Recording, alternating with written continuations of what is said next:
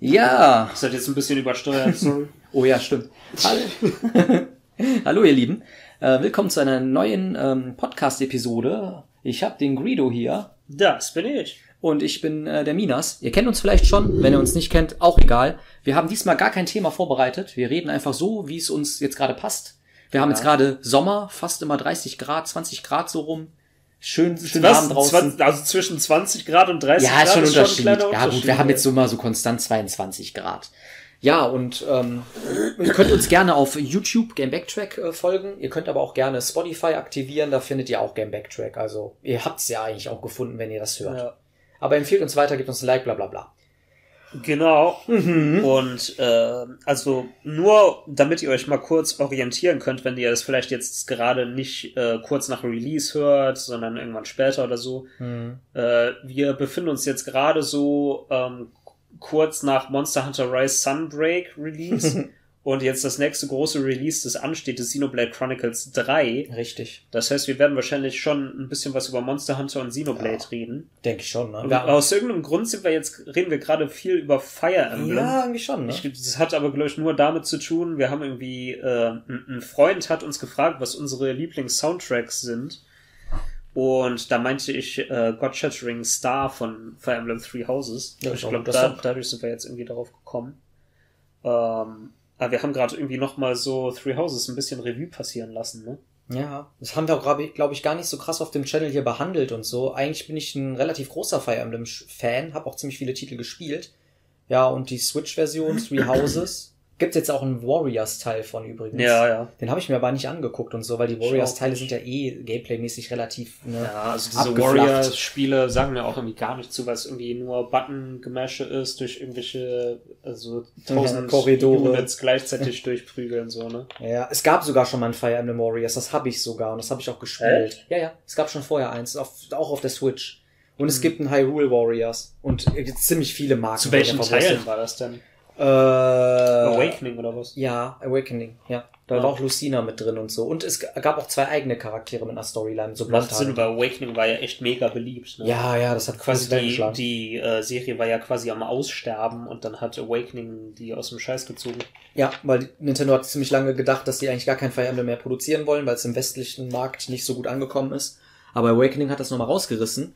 Ja, und dann ist ja noch ähm, Three Houses. Aber man muss auch sagen, die alten Fire Emblems, also ich persönlich mag den alten Style von Fire Emblem lieber. Ja, das so. Ähm, aber man muss halt ist, auch echt sagen, das sind nicht wirklich Spiele für jeden. Aber Nee. die sind ja schon Hardcore. ja. Weil, also wirklich Hardcore auch im wahrsten Sinne des Wortes, weil meistens Hardcore in Games bedeutet ja irgendwie, du kannst, wenn du stirbst, bist du tot, ne, und musst neu starten. ja. Und so ist es ja halt auch bei Fire Emblem, falls ihr euch mit der Serie nicht auskennt.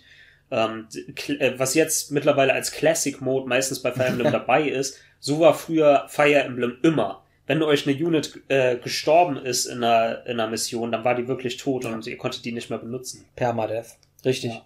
Und das ist aber auch der Dreh- und Angelpunkt, weil so wachsen euch die Charaktere vielleicht auch ans Herz, Ja. weil ihr sie auch vielleicht durch Dialoge kennenlernt und ihr wollt einfach nicht, dass sie sterben. Was natürlich auch Und möglich ist. dadurch hat man aber auch so voll das intensive Spielerlebnis, Ja. weil man will auf gar keinen Fall verkacken.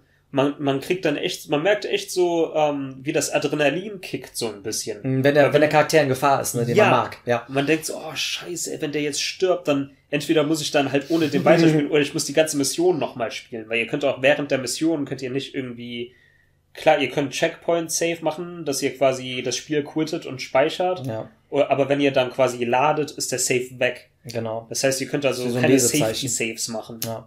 So. Und ja, in den neueren Teilen ist es halt so ein bisschen, also seit Awaken, also in Awakening gab es schon einen, einen äh, Casual Mode Ja, richtig. oder Phoenix Mode oder so. Ich weiß nicht, aber die haben auf jeden Fall eine Variante gehabt, dass das Permadeath nicht da ist. Also, dass Genau. die Und das noch Charaktere richtig zusätzlich zu auch noch auswählbaren Schwierigkeiten. Also man kann auch noch leicht, man konnte leicht, mittel, Genau. hart nehmen und dann noch Classic und halt Casual. Ja.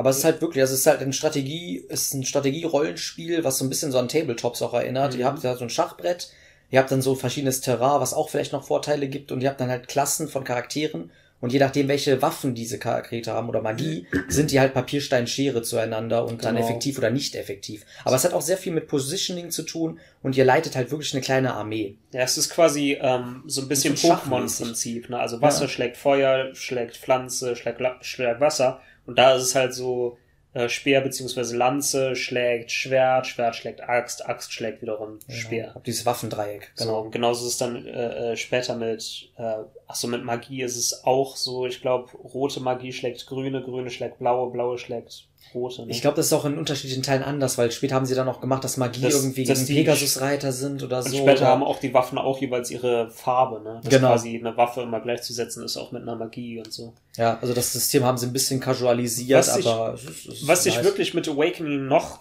sehr krass verändert hat, ist, früher hat eigentlich die ganze Action auf dem Battlefield stattgefunden.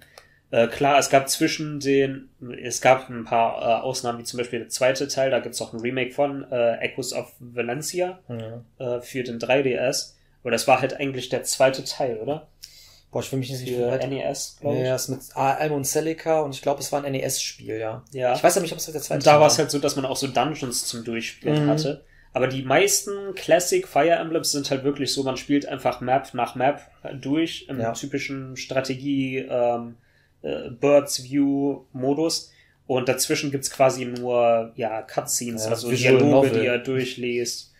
Ähm, bei äh, Awakening haben sie dann noch gemacht, dass ähm, äh, es gab schon vorher, dass man, wenn man Einheiten oft zum Beispiel nebeneinander platziert hat, dass die Mhm, dann so Affinität ja. zueinander gewonnen haben. Ähm, und in Awakening haben sie das wirklich zu einem ganz eigenen System gemacht, dass man halt ähm, die Units wirklich auch miteinander verkuppeln kann, Und dass die halt immer ne? fester zusammenwachsen. Genau. Später gibt's nämlich irgendwie, wie passiert das? Ein Zeitreise, glaub Portal, ich. Ja, ja. irgendwas mit Zeitreise. Und dann, weil es gibt einen Charakter quasi, ich weiß nicht, das Spiel ist Du alt genug, wir spoilen, können ja, ja, spoilen, klar. ne? Und zwar Lucina, das ist dann quasi die Tochter von Crom, dem Mhm. Hauptcharakter. Ihr könnt, kennt wahrscheinlich auch Crom und Lucina aus Smash zumindest. Und ja, Lucina kommt quasi aus der Zukunft, um einen zu warnen. Und dadurch ist halt quasi irgendwie diese Verbindung zur Zukunft da. Und das heißt, wenn ihr dann Charaktere miteinander verkuppelt, dann könnt ihr auch die Kinder von denen aus der Zukunft holen und könnt die als Einheiten rekrutieren. Das ist so weird. Was richtig Aber es ist weird ist, aber es ist ein geiles System. Ja, es und ist die irgendwie übernehmen dann kreativ. auch die Skills von den Elterncharakteren, ne? Aber haben die es nicht in ähm, Herrschaft, also in Fates, haben die es nicht auch übernommen, dieses äh, System mit den Kindern kriegen? Du konntest doch Leute, da hat's doch so ein Base-Building dabei, du konntest Leute irgendwie zu dich ein, Ja, zu dir das, einladen. das kann man auf jeden Fall. Und kannst nicht da auch durch Kinder kriegen? Ich glaube nicht, dass es da Kinder gibt. Ja, gibt's nicht. Aber Ja, du kannst auf jeden Fall mit den, mit den. Charakteren Ich, flirten. ich glaube, man kann äh, Charaktere von der jeweils anderen Seite, weil Ah, da gibt's ja diese zwei Häuser, es Ja. gibt Hoshido und äh, Nor. Ja, ich glaube ja. Und äh, man kann quasi von der jeweils anderen Seite, glaube ich, Charaktere rekrutieren. Wobei ähm, Herrschaft ist ja auch ganz anders vom Gameplay und vom Stimmt. Aufbau her ist ja eher klassisch, dass man Map nach Map spielt so. Müsste ich eigentlich mal nachholen. Und bei dem Hoshido-Teil hat man ja auch so eine World Map, Genau. wo man Missionen wählen kann. Ne? ist auch Das weird. ist übrigens bei Awakening halt auch so gewesen. Ihr könnt halt, ihr könnt euch frei auf der World Map die ganze Zeit rumbewegen und könnt halt auch äh, ja, so. Side-Battles machen, um zu grinden. Ja. Da erscheinen halt einfach so random Monster-Partys oder irgendwelche Söldnertruppen auf der Map, die man halt bekämpfen kann. Ja, auch sorry, wenn wir jetzt so viele Fire Emblem-Teile durcheinander werfen. Aber das hatte dann auch der GBA-Teil, hatte das auch. Hm, ja, ja, der mit Erika und äh, ja, wie, irgendwas mit äh, Stone, äh, Sacred Stones? Wie, wie hieß der Bruder? Ephraim? Äh, ja, der hat so Genau. rote Haare, der sieht aus wie Roy, ne? Äh, Nee, der hat, glaube ich, blaue Haare und Ach so, Speer. ja, ja, ja, ich weiß, sie hat so ein Rapier, ne? Ja, genau, genau. Ja, Sacred Stones, da war das auch so, dass Genau, du eine Map Sacred hat. Stones. Da Da auch so auch eine so. Monster, ne? So Das war cool. und Das sowas. ist ein richtig gutes Spiel. Auch das allererste Fire Emblem für den GBA ist ein richtig geiles Spiel. Ja, ich hab's auch auf Emulator angezockt. Das hat auch, auch mir Bock gemacht, auf jeden Fall. Musst du nachholen. Das sind richtig gute Spiele. Ja, aber das ist halt die Sache, ne? Die Struktur Ich hat fand sich halt auch äh, bei den. GBA-Teilen gerade waren die Animationen richtig geil. Ja, dieses gepixelte, ne? Ja. Die Ja. waren so richtig flüssig und knackig so. Ja. Ja. Und dann äh, kam, wie gesagt, jetzt vor, wann kam das? 2018? Boah. 2019? Kann sein, das ist ja ist schon, es ist schon älter, Three Houses, ne? Ich recherchiere. 19? Ich sag 19. Ja, kann gut sein. Auf jeden Fall. Nee, 18. Ich sag 18. Echt 18? Ich gucke jetzt eben nach. Red ruhig weiter. äh, kam dann eben der neueste, aktuellste Teil, äh, apropos, man kann vielleicht kurz sagen, es ist, glaube ich, äh, schon ein neues, ange also nicht angekündigt, aber 2019. es gibt Gerüchte, dass ein neuer Teil kommt bald, ne? Echt? Da weiß ich nichts von. Ich meine schon. Habe Also- ich nur so am Rand irgendwie mitgekriegt. Das ist am 26. Juli 2019 rausgekommen und ist der 16. Ja, Teil. Ich hätte Der- bei 19 bleiben sollen. ja, 16. Teil der Fire Emblem-Serie. Ja. Und Ja. ja, wie gesagt, das ist also der aktuellste Teil. Ja. Und äh, da hat man halt jetzt das, ja, was heißt Gimmick? Ist nicht wirklich ein Gimmick, aber der, der halt das Special von dem Teil ist, dass es halt drei verschiedene Häuser gibt. Hm. Man kann eins davon auswählen, halt, mit dem man spielt. Und das bestimmt halt, welche Charaktere man im Spiel hat. Man kann zwar auch aus den anderen Häusern die meisten Charaktere auch Rekrutieren, rekrutieren, wenn richtig. man möchte. Ja. Aber ähm, ja, das bestimmt auf jeden Fall schon mal die Hauptcharaktere, weil die kann man, also zum Beispiel, wenn man in Golden Dias ist, kann man nicht Edelgard rekrutieren. Ja, weil die der Leader die ist. Leiterin ist von Black Eagles zum Beispiel. Von, von Ravenclaw. Ja. Ja, das, das muss man auch sagen, das spielt halt in so einem Kloster und in diesem Kloster ist man selber, man ist ein Söldner vorher, aber dann kommt man mit seinem Vater irgendwie in das Kloster rein und wird selber zu einer ja, das Art Kloster ist quasi wie eine Akademie Genau. für, für Krieg quasi. Genau, das ne? ist halt wie so eine Kaserne eigentlich. Das heißt, Kloster. die ganzen. Charaktere da sind äh, zunächst mal nur Schüler, es sind Mhm. quasi Kinder noch. Und ja, dann kämpft man halt gegen irgendwelche Söldner und dann gibt's irgendwelche Intrigen, Intrigen. ja. Und, Aber es ist halt so cool, ist cool, weil das, da haben wir das Spiel so ein bisschen mit einem Persona angeglichen. Weil da hast du ja diesen Zyklus halt, ne? Du hast Mhm. diese Daytime, die halt in diesem Kloster ist, und dann hast du halt diese Kampfvorbereitungszeit. Und das wechselt sich halt immer ab, mit auch so einem Kalender mit Tagen. Und Ja. auch, da auch die Charaktere haben da auch Geburtstage oder es gibt Special Ja, ja. Events und so, das ist alles eingetragen. Und ihr könnt dann halt neben, neben den Schlachten könnt ihr halt wirklich noch so ein bisschen Social Parts machen mit euren Charakteren. Könnt ihr zum Tee einladen, dann die Harmonie steigern, könnt angeln, könnt irgendwelche Sachen shoppen, da gibt's auch einen Shop Ja. mit Waffen und so. Und, auch mit den Plaudern. Und das, also ich, ich will Das nicht schon sagen, dass diese Sachen irgendwie schlecht sind oder so. Für mich persönlich hat das so ein bisschen mir das Genick gebrochen Ja. im Spiel, weil ich irgendwann ein bisschen ermüdet bin von diesen ganzen Sachen, die man halt zwischen den Missionen immer nicht Ja. unbedingt machen muss, weil man kann die Sachen skippen, aber warum sollte man? Weil es bringt ja immer irgendwie was, man kriegt immer, man lernt dann irgendwie, man macht schneller Progress in seinen Classes, die man den Leuten beibringt. Ja. Man Und du erfährst auch was über die Charaktere. Charakteren, ja, genau. Und die lassen auch irgendwelche Sachen immer, du findest auch so Gegenstände, die du dann irgendwie den Charakteren zurückgeben kannst und dadurch kannst du die rekrutieren. Stimmt, ja. Es gibt auch Leute, es gibt auch Charaktere, die schließen sich in ihren Zimmern ein und wollen nicht rauskommen. Ist echt so ein bisschen Harry Potter mäßig. Ja, mein ne? Lieblingscharakter. Ja, die, ist, die hat eine Deep Story. Ne? Ich glaube, wir haben da schon mal im Discuss Auch wenn sie geredet. fucking nervig ist die meiste Zeit. Aber die ist auch gut. ja, Die ist ja, Mutter ist- Archer.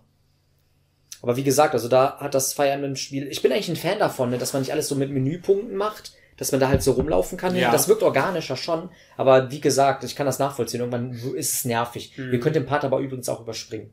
Ja. Dann entgeht euch vielleicht eine, ein Großteil des Spiels, aber es ist nicht gezwungen, dass ihr das, den Social Part immer spielen müsst. Und manchmal habe ich ihn auch übersprungen.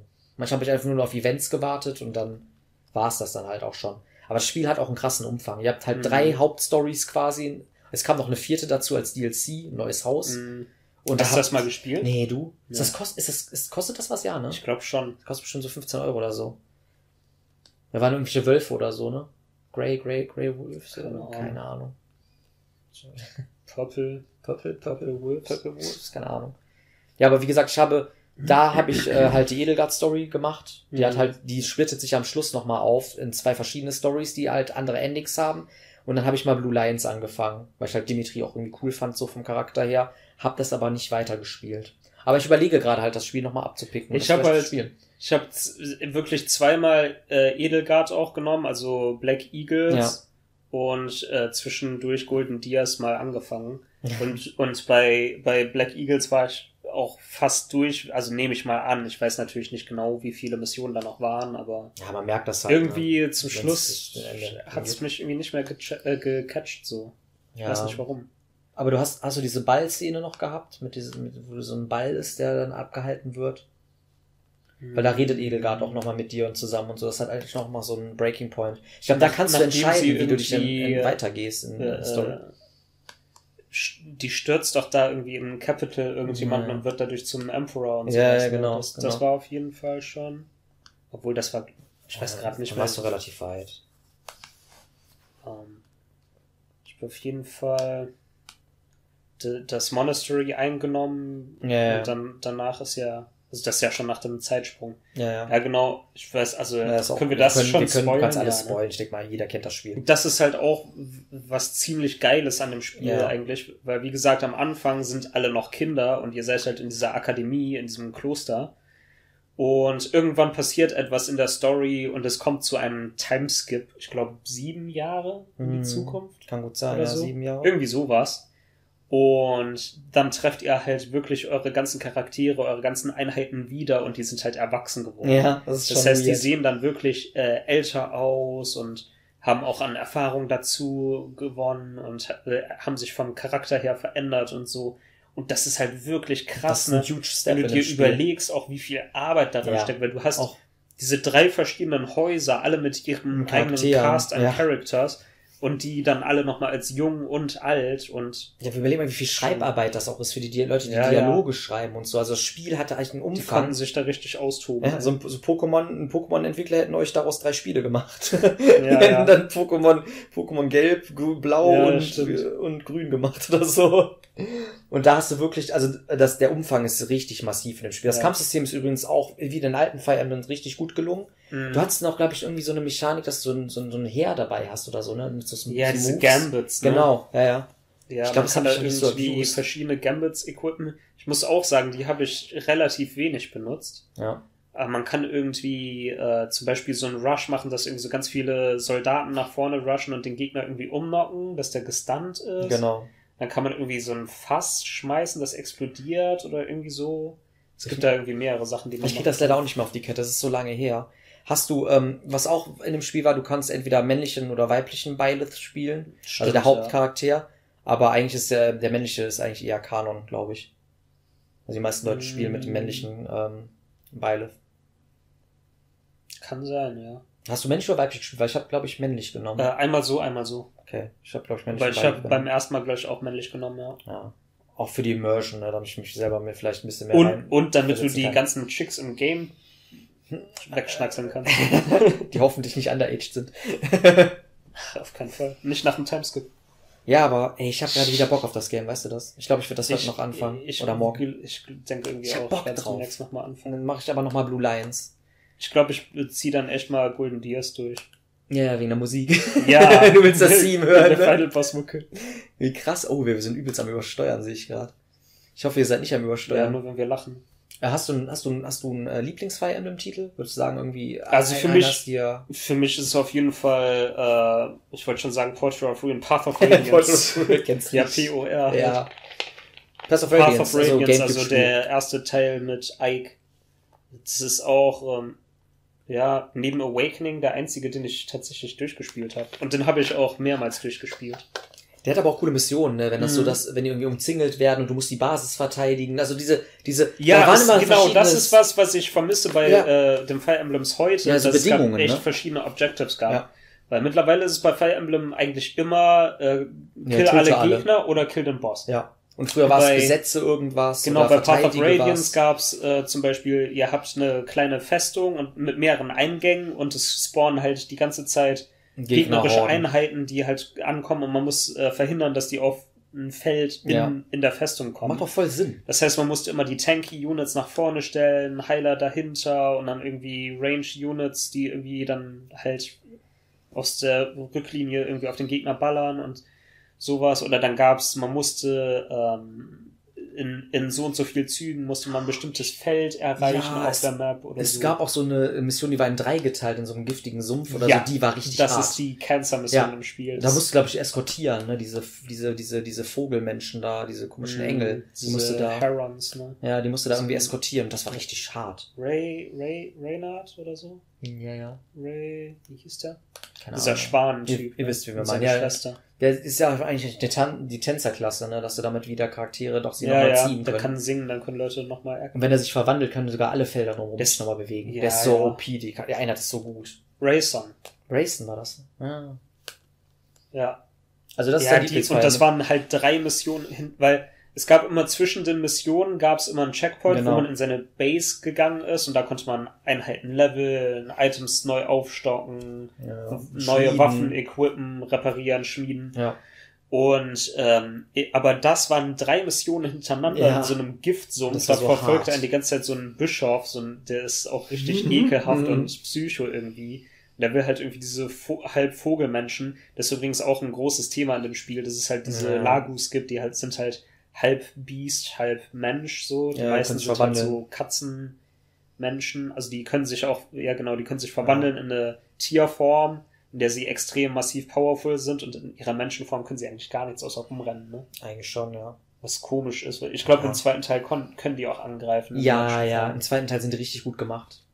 Ähm, später gibt's auch Drachenleute. Genau, ja, die sind dran verwandt können mit so einem Stein, ne? Obwohl, Ähm. obwohl die, die Einheiten sind sehr useless. Ja, und, und man muss auch sagen, diese Drachen-Units gibt's auch in anderen Fire Emblems. Ja, gibt es schon vorher. Ja. Ich muss auch sagen, der, der hatte auch schöne Cutscenes, der Gamecube-Teil. Ja, Also der hatte richtig schön ähm, animierte die, Sa- die hatten einen coolen Stil. Generell, alle Cutscenes, auch von den, äh, von den äh, DS-Teile, haben richtig schön, also da, warum gibt's davon kein Anime? Ich würde mir das angucken. Eine Qualität davon, ein Anime zu sehen von Fire Emblem wäre richtig geil. gibt's echt keinen. ich glaube nicht, dass es ein Anime Irgendwie gibt. äh, fühlt sich gerade so an, als hätte es einen gegeben von, von Three Houses. Also es gibt auf jeden Aber Fall von Persona nicht. gibt's ein Anime, von Tales of gibt es Anime, aber ich glaube, es von Fire Emblem gibt's kein Anime. Machen aber- die bestimmt irgendwann. Ich hoffe Vom nächsten Teil. Eine, eine Netflix-Adaption. Ja, ja. Alles kriegt eine Netflix-Adaption. Fire Emblem Anime. Ich glaube nicht. Informationen, Anime-Serie, Studio, Fantasia und Co. Also Aber dein, dein alt. äh, Ach, es gibt, doch, es gibt eine, es gibt einen alten Anime. Ach so, von von Fire Von wahrscheinlich 96. Mark, ne? Äh, sehe ich jetzt gerade nicht. Nee, okay, ich, ich nehme das zurück, ja, das. Ist, soll das Mark sein? Ich glaube ja. Ja. Also es gibt doch einen alten Anime, das wusste ich. Aber ich meine halt mit den CGI gibt's sogar auf Englisch. Weil ist das ein, ist ist das ein ach- Anime oder Manga? Der ist 98 rausgekommen. Manga-Gewinnspiel. Ich glaube, da standen Episoden. Prinz Mars Beschreibung. Englisch.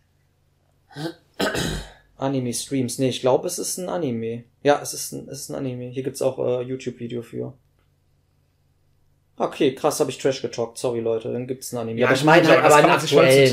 Ja, ich meine jetzt halt einen aktuellen, weil der ist schon, das ist schon ein richtig, richtig alter Anime. Aber die Thematik ist halt auch eigentlich ganz cool, ne? Man kann das so echt so Game of Thrones mäßig aufziehen, ja. dass man es halt so wirklich gritty macht und so äh, auch vielleicht ein bisschen brutaler macht. Ja, das sieht auch ein bisschen berserkmäßig aus, ne? Vielleicht werden mich die Leute jetzt auch hassen. Ja, ist so ein bisschen ähnliche Thematik mit so Söldnern und so. Ne? Mm. Okay, also Wobei bei Berserk geht's natürlich sehr in, ins Fan Dark Fantasy, Fantasy, und Dämonen und Stuff-mäßige. Aber ähm, dein, dein Lieblingsteil ist wahrscheinlich äh, Radiant Dawn, ne?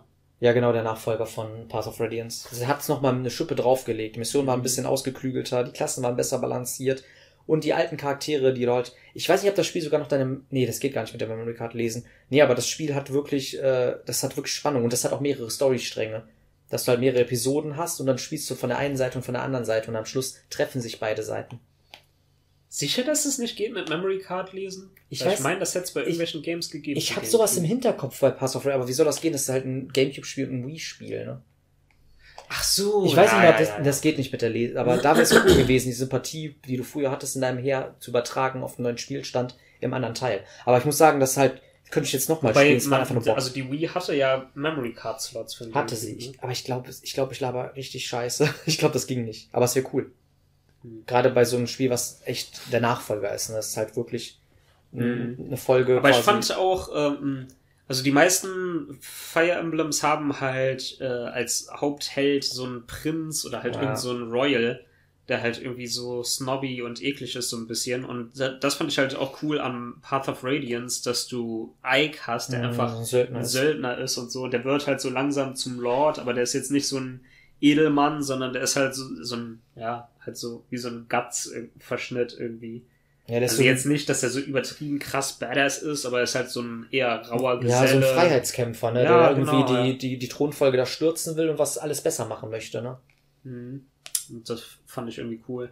Ja. Wobei im zweiten Teil ist die Story so äh, aufgeteilt in mehrere Stränge und Ja. erzählt quasi die Geschichte von mehreren Truppen, die Genau. dann halt irgendwie später zusammenfinden. Ja, das ne? ist so geil, wenn die später zusammenkommen. Das ist so cool.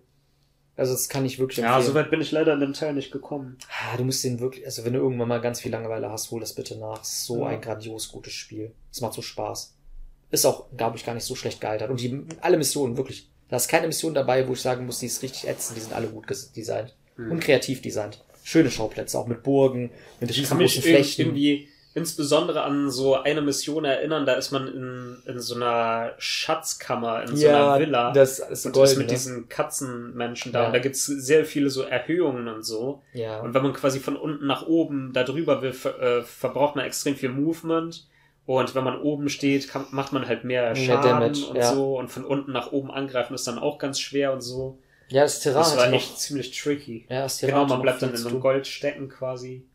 Also das war halt echt krass kreativ und Ja, sowas vermisst man so ein bisschen in den heutigen Fällen. Ja, auch dass du doch früher Diebe hattest, die irgendwie Schatztruhen öffnen konnten und Türen öffnen konnten und so. Früher war Weil das, das mehr so. ja immer noch. Ja, aber früher hat man echt so mehr Hausfights und so mehr Burgen.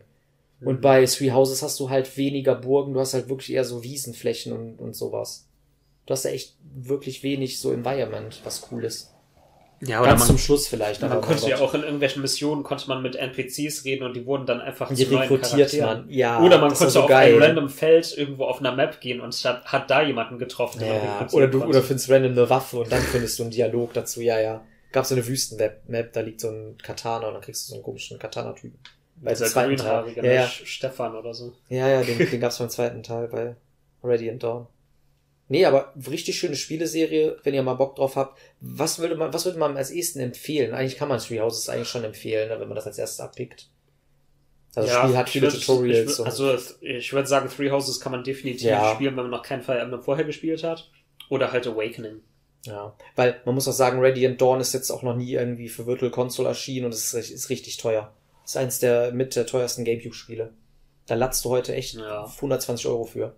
Für ein Game. Emulator. Naja, gut, mit Golf-Emulator, ja, das ist halt am Rande der Legalität. Aber Nintendo ist selbst schuld, oder ist ja nicht mal Nintendo, Äh, ne? Zum Beispiel äh, ähm, Fates äh, würde ich generell nicht unbedingt empfehlen, weil ich die nicht so gut Ja, ich finde nicht. persönlich. Ich habe nur den einen gespielt. Aber ähm, auch dann, also der Hoshido-Teil, keine Ahnung, der ist vielleicht ein bisschen einfacher, wobei ich gehört habe, dass es da auch richtig brutale Maps gibt Echt? irgendwie. ey, Den hast du doch gespielt, oder nicht? ich habe nur die, nein, ich habe nur Herrschaft.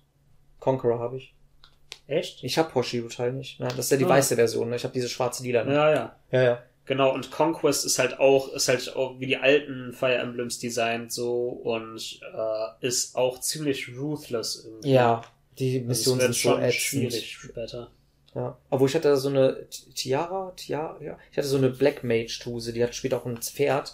Die ist auch voll populär, gibt auch voll die Statuen von der und so. Die so, mit so zwei Zöpfen, ne? jetzt so ein, Pot, so ein Pottschnitt und so ein goldenes Diadem. Die ist so eine Nekromantin oder so. Okay. Und die konnte später, konnte die auch irgendwie allen Gegnern das Leben absaugen und so. Und ich konnte einfach durchreiten mit der. Die war so, Nosferatu? ja, die, die ist so OP gewesen, diese Einheit. Ich weiß noch, da war eine Map, die war richtig ätzend. Das war quasi so ein Gebäude, das ging über Mit mehrere Treppen und so. Stockwerke. Ja, ja, ja, ja. Die hatte ich auch gemacht. Die ist so Oh, nervig. die war richtig übel, die Map. Ja, ist ein bisschen zu vieles gut, ne? Wenn das dann alles Occupy ist und, weiß ich nicht, einfach nur extrem in die Länge Und da fand ich auch dieses Base-Building zwischen den Maps fand ich irgendwie nicht so spannend.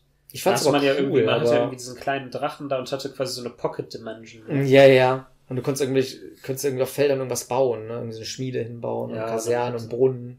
Dann hat man quasi immer so Erze und sowas bekommen, Mm. irgendwie jede Runde oder irgendwelche Kristalle und konnte damit seine Waffen aufschmieden und so. Es wirkt halt so echt wie so ein Handy-Game-mäßig, ne? Dass du irgendwie noch was zu tun hast, so Metagame-mäßig. Das ist ganz komisch. Und man konnte in der ähm, europäischen Verfassung nicht den Charakteren das Gesicht streicheln. no. Touchscreen. Oh, ich will doch, ich will doch meinen, wie hieß nochmal, Hector oder so? Da gab's so einen Barbarentypen, so einen blonden. Der Sam Belmont. Ja, dem würde ich so gern das Gesicht streicheln. No, no homo. ja, vor allem gab's den nicht auch in Awakening? Ich glaube, ich vermische da zwei Archetypen Ich von Charakteren, aber aber, ich ich- glaube, er war in, in, den, in den Dings, in dem Streichelspiel. Ja, ja, war, er, also er ist safe in dem Spiel, aber irgendwie denke ich immer, der wäre auch in Awakening da Da gewesen. gibt's zwischen auch voll die Kante mit Axt. In, Awakening? ja, in Awakening gab's auch irgendeinen so blonden Muskeltyp äh, mit so, so Fake-Schönling-Gesicht. Also so quasi, dass er denkt, er ist so voll der Schönling, aber ist so voll ugly, so mäßig. Achso, mein Lieblingscharakter ist übrigens Siark, ist von äh, Radiant Dawn. Der hat so blau, sieht ein bisschen Sephiroth-mäßig aus. Der hat so einen weißen langen Mantel an, ist Myrmidone.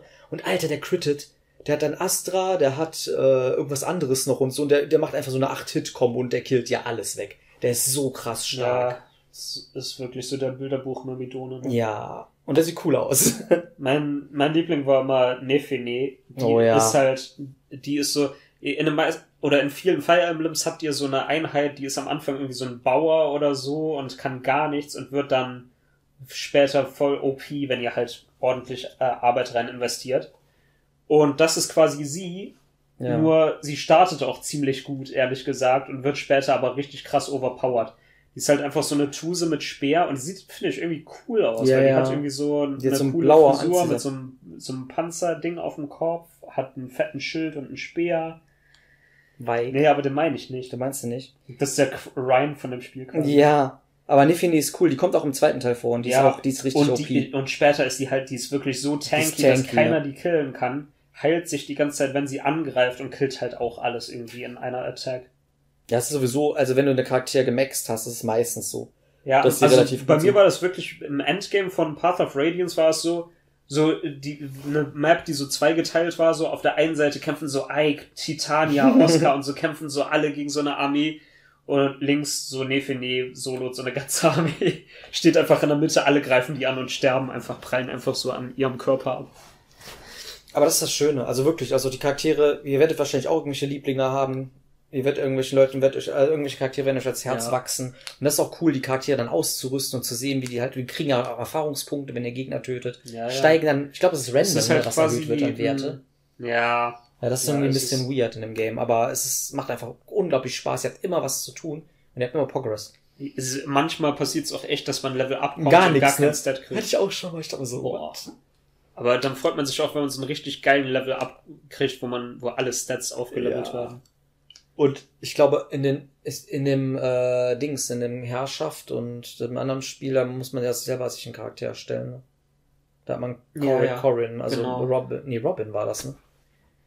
Ja, da konntest du dir selber einen Charakter erstellen, dann konntest du auch wählen, welche. Ein Awakening auch, ja. Ach, in Awakening, da war es Robin, ne? Genau, da war's ist Cor- ja, ja, und- ja, Cor- Ja, ihr habt dann einen eigenen Avatar als Charakter und könnt wählen, womit ihr stark seid und was ihr nicht, äh, womit ihr schwach seid. Könnt halt Magier spielen oder einen Schwertkämpfer oder so. Wie sah dein Charakter aus? Mädel mit lila Haaren? Boah, ich weiß es nicht mehr, ehrlich gesagt. Ich müsste meinen Speicher laden. Ich weiß, wie sah dein Charakter aus, weißt du noch? Ich hab, ich hab auch ich hab- äh, auf jeden Fall Ich habe, glaube ich, mal en gespielt. entweder einen, rothaarigen Typ immer oder eine silberhaarige Tuss mit Augenklappe. Immer. Das ist mein Go-To. Stand- Standard. ja, ja, aber Fire Emblem, schöne Spielereihe. Äh, Wenn du sagst, kommt bald ein neues raus, ich bin gespannt. Also es ga, gab irgendwie Gerüchte irgendwie. Ja. Das ist mal krass, ne? Immer wenn so es gesagt gibt wird, sehr viele Gerüchte. Man muss da echt vorsichtig sein mittlerweile. ja, Und das ist auch ist nicht so krass bei, bei irgendwie Sony oder Microsoft oder so, aber- bei Nintendo immer, die ganze Zeit. Ich weiß nicht, ob es vielleicht daran liegt, dass, äh, vielleicht haben die einen Leak. dass es Vielleicht die mehr jüngere irgendwie- Spieler gibt oder so. Oder Ich, es kann aber auch krasses Marketing Ja. sein, ne? weil das immer so irgendwie, so zwei Tage bevor eine Nintendo Direct kommt, twittert immer irgendjemand so, ja, morgen Ja, kommt bestimmt. ja. Und dann ist es immer so, dass eine Direct kommt. Das ist voll weird. Auch die Ja, Bayon- aber wahrscheinlich- Bayonetta wurde auch wahrscheinlich äh, tweetet gespoilt. einfach jeden Tag Na, irgendjemand, dann ja, morgen irgendwann- eine Direct und irgendwann stimmt's dann halt. Junge, Alter. Five-Fat-Move. Ja. Sollen wir das auch machen? Sonst extra so, so, so Tweet, Tweets, äh, so, so Tweets-Account erstellen und die ganze Zeit tweeten. Hey, morgen direkt, ey, morgen direkt, ey, morgen direkt. Ja. Aber es, äh, es gibt ja echt die ganze Zeit, also äh, ganz krass war es natürlich, während Smash Oh, irgendwie ja. noch geupdatet wurde. Chris. Oh ja, die letzten zwei Charaktere sind das und das und und jetzt Hello, ist es irgendwie so, oh ja, Metroid Prime 4 und Metroid Prime Ach. Trilogy, bla, Echt? kommt auf jeden Fall noch dieses Jahr. Ich geb da jetzt gar keinen, gar keinen mehr drauf, Alter. Auch Breath of the Wild 2, Alter. Ich bin jetzt so tot. Boah. Irgendwie lässt, lässt Nintendo gerade ihre Fans ein bisschen am langen Arm verhungern und die Third Parties kriegen dann halt jetzt Auftritte. Ey, das kann man nicht sagen, weil fucking Xenoblade Chronicles 3. Ja, aber es ist ja kein Nintendo-Titel. Ach so, First Party. Ja, das ist ja ein Third Party-Titel. Ja, das stimmt. Ja, ja, es ist, keine eigene Nintendo-Marke, so, so gesehen. Ja, es gab quasi Ma Ma ist Mario und Rabbids Oh, First wow. Party. Nee, ist auch Ubisoft ausgesourced. Die haben ja nur die Aber, Lizenz aber bekommen. es ist halt Mario. ja, mein Gott. Ja, das letzte Spiel war Mario Strikers Charged. Oder nee, Und war, war, wie war das eigentlich? Ist, war es gut? Keine oder? Ahnung, ich habe nichts von dem Spiel gehört. Ich, Ich habe weder, nicht. weder irgendwelche Streamer habe ich gesehen, die, die ich kenne, die das gespielt haben, noch hab irgendwas von dem Game. Ich habe irgendwie so da, das Gefühl, das war nicht so gut. Aber ja, ich weiß nicht, woher ich ich, ich habe auch letztens noch mit Bugs geredet, also mit Dr. Nerd. Der hat das Strikers. Nein, nein, nein, der hat auch irgendwie ziemlich viel äh, negative ähm, Feedback davon, also viel zu wenig Charaktere und macht irgendwie auch nicht mehr so viel Spaß. Keine Ahnung, ist halt der dritte Teil, ne? Hm. Irgendwann ist, erschöpft sich's auch. Ich habe nicht mal den zweiten Teil auf der Wii Ich glaube, der erste war wahrscheinlich auch am besten. Der erste ist geil, Alter. Ja. Der macht richtig Spaß. Obwohl, heute kannst du es vielleicht auch nicht mal antun mit 4 zu 3, ne? Mit Gamecube-Grafik. Wenn du wenn du einen äh, CRT-Monitor hast, schon. Ja, habe ich im Keller stehen. Aber ich, das ist auch der Grund, warum ich Gamecube oder Wii-Spiele wirklich gar nicht mehr zocke. ich habe den Kaffee verdödelt. Ich, ich weiß, aber ich wollte es auch nicht sagen, weil, Warum sagst du nix? Weil wir jetzt schon hier auf jeden Fall äh, äh, äh, Dings, wenn du Wii oder Gamecube-Spiele auf so einem fetten äh, HDMI-Fernseher guckst, das sieht einfach scheiße Ich aus. weiß, ja. Das ist so verschwommen. schlecht gealtert, leider, ja. Leider. Deshalb wünschte ich mir echt, alles wäre einfach auf der Switch. Stell mal vor, du könntest einfach jetzt so Path of Radiance auf der Switch Ja. zocken. Ja. Ich hätte das safe irgendwann nochmal Ich kann's, ich kann's auf meiner Wii U spielen. Ich kann alle Gamecube-Spiele auf meiner Wii U spielen, auf dem äh, Handheld-Dings. Das ist, ziemlich Das ist cool, das ist wirklich cool. Hab ja letztens Resident Evil 4 darauf durchgespielt im Handheld-Modus. das ist so gut. Das ist epic. Ja, Aber ich kann Resident Evil 4 auf Switch. ich kann auch Prime spielen auf, dem, auf der Wii U. Kann ich einfach Metal Prime spielen hier sitzen und Prime Das ist spielen. schon sick, ey. Warum macht Nintendo nicht Apropos, wenn wir schon bei Wii? U sind, wir hatten ja auch noch ein kleines Wii U Revival neulich. Stimmt, ne? darüber können wir Weil irgendwie reden. Minas hat plötzlich angefangen, oder ich, ich bin auch ein großer Xenoblade Chronicles Fan und habe halt zwischendurch dann auch nochmal noch mal den ersten Teil durchgezockt. Ich habe alle Teile jetzt durch. Und genau, Minas Hust, hat, hust. wollte irgendwie nie wirklich der Serie eine Chance geben. ja. Ich Lange hab, Zeit. Ich habe auch den ersten, also ich habe Xenoblade Chronicles habe ich wirklich dreimal angefangen. Beim dritten Mal Krass. durchgespielt. Ich frage mich, was dann wirklich der springende Punkt war, warum du es dann plötzlich Wasch- durchgezogen Wahrscheinlich, dass andere Spiele rauskamen zu der Zeit und ich dann den Fokus verloren habe. Und dann habe ich gesagt, jetzt habe ich nichts zu Kann zocken. sein. Jetzt hole ich's nach. Ja, man muss auch sagen, eigentlich, ähm, wenn man das Spiel so von außen betrachtet, würde man auch denken, das ist nichts für dich. Weil Ja. du bist ja so sehr so ein Action-RPG-Fan, du magst es gerne, einen Knopf zu drücken und es kommt eine Attacke raus. da hast du recht. So, und da ist es halt so, es ist so, es ist schon Echtzeit, aber auch turn-based irgendwie. Weil du hast halt so, es kommen getimte Auto-Attacks und du kannst halt deine Arts benutzen, aber du hast jetzt nicht so, so wie bei Tails oder so, dass du einfach wie in einem Fighting Games Game Commands eingibst und es kommt ein es ist bestimmter nicht Move, wirklich sondern, Echtzeit, ja. sondern du wählst ja auch in so einer Palette quasi deine Arts, die du benutzt, aus und so. Man kann es eigentlich sagen, es ist wie bei so einem MMO. Ist ein, ja, ist wie ein ne? Es Singleplayer-MMO, ja. ist es wirklich. Ja. Auch man hat halt auch so eine riesen Welt und man hat da irgendwie äh, die verschiedenen Mobs, die irgendwie einen sehen oder hören können, was auch in vielen MMOs gibt. Es gibt so Mining Nodes und sowas halt wie Und die so Quest-Struktur MMO. mit Ja, genau, Fetch-Quests ja, ja. ohne Ende, ja. es Man kann echt sagen, davon. das ist ein Singleplayer-MMO. Ja, Aber, Aber- ähm, ja, erzähl doch mal deine, deine Reise durch, durch Oh. Xenoblade. oh Junge. Meinst du, die Zeit reicht dafür für den Podcast? Ja, klar. Ich, ich kann mich ja kurz halten. Aber ähm, ja, wie gesagt, ich habe auch immer zum Guido gesagt, so, ey, warum gibt es Xenoblade Chronicles nicht als HD-Port oder so? Und dann gab es ja irgendwie für den 3, New 3DS Boah. gab es eine Portierung, die mehr schlecht als recht war. Und dann endlich kam es für die Switch raus. Ich habe es dann auch mir gekauft, hab's auch angeschmissen. Da dachte ich mir so, Ey, ja, Das fällt mir jetzt gerade erst auf. Man kann wirklich die ganze Trilogy kann man auf, äh, man kann Auf halt einer nicht Konsole. Chronicles X, aber das ist ja ein ja, Spin-off. Ne? das kommt ja noch. Aber die anderen, man kann echt alle Teile auf der Switch spielen. Bis Ja, das ist alles exklusiv für die Switch, ja. Die, die Nintendo Switch ist einfach die Xenoblade. Da muss man sich auch fragen, warum bringt Monolith Soft nicht auch äh, Xenosaga und Xeno Gears? für Switch raus? Könnten die eigentlich Weil im Moment ne? kommt ja echt alles. Es kommt ja auch Persona äh, 3 und 4 Golden, kommen ja jetzt ja. auch und 5 äh, kommen ja auch für Switch. Ja, Royal. Ja, egal. Ja, ist ein Schlupfloch, ne? Müssen wir echt machen. Ja, ähm, ich habe auf jeden Fall Xenoblade Chronicles dann halt schon mal auf der Wii angefangen. Dann habe ich es aufgehört, weil ich irgendwie keine Lust mehr hatte. Und komischerweise auch immer an der gleichen Stelle aufgehört. Und dann habe ich es nochmal angefangen. Wo hast du denn aufgehört? Äh, nach der Spinne quasi. ah, also bist nach Leck gekommen. Ja, ja, nach Leck und dann habe ich aufgehört. Und Ah, das ist halt der Punkt, so, wo sich das Spiel ziemlich öffnet, ne? Ja, ja, ja. Aber dann habe ich da wirklich immer da ab, äh, aufgehört. Aber ich finde halt wirklich, Ich habe ja auch äh, Barton Kaitos durchgespielt. Ist ja auch von. Ist das Monolith Soft? Ja, Ja. Monolith, ne? Ja, es war ja halt auf dem Gamecube schon ein cooles RPG und so. Und da war auch das Charakterdesign so ziemlich weird eigentlich. Ja. Und nicht so standardisiert, japanomäßig. Und bei Xenoblade hat sich das so ein bisschen mehr japanisiert, sagen wir es mal so. Aber dann habe ich es halt wirklich auf der Switch durchgezogen. Und da habe ich echt Blut geleckt. Und es ist halt so krass, ne, wie viele Systeme in diesem Spiel verbaut sind. Mhm. Die Charaktere sind echt lovely. Und es passiert halt so viel Shit.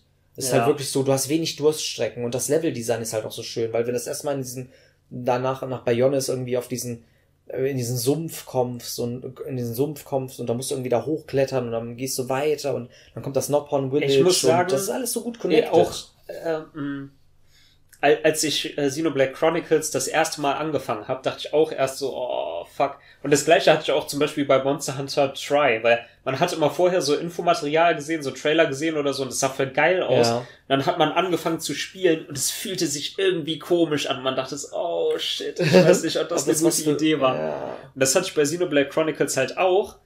Und, ähm, und das war halt schon am Anfang ein Tutorial, wo du Dunban spielst, ne? Ja, ich ja. habe so gesehen, wie Mit du so, Krieg. Wie du so eine Art machst und du bewegst dich gleichzeitig, dann hören so seine Beine auf sich zu bewegen und du slidest einfach so über den Boden, weißt du, was ich Ah, ja, meine? ich weiß, was du Dann dachte ich dann meinst. so, oh shit, das ist schon Ja, dass der Oberkörper so, so stiff ist, ne?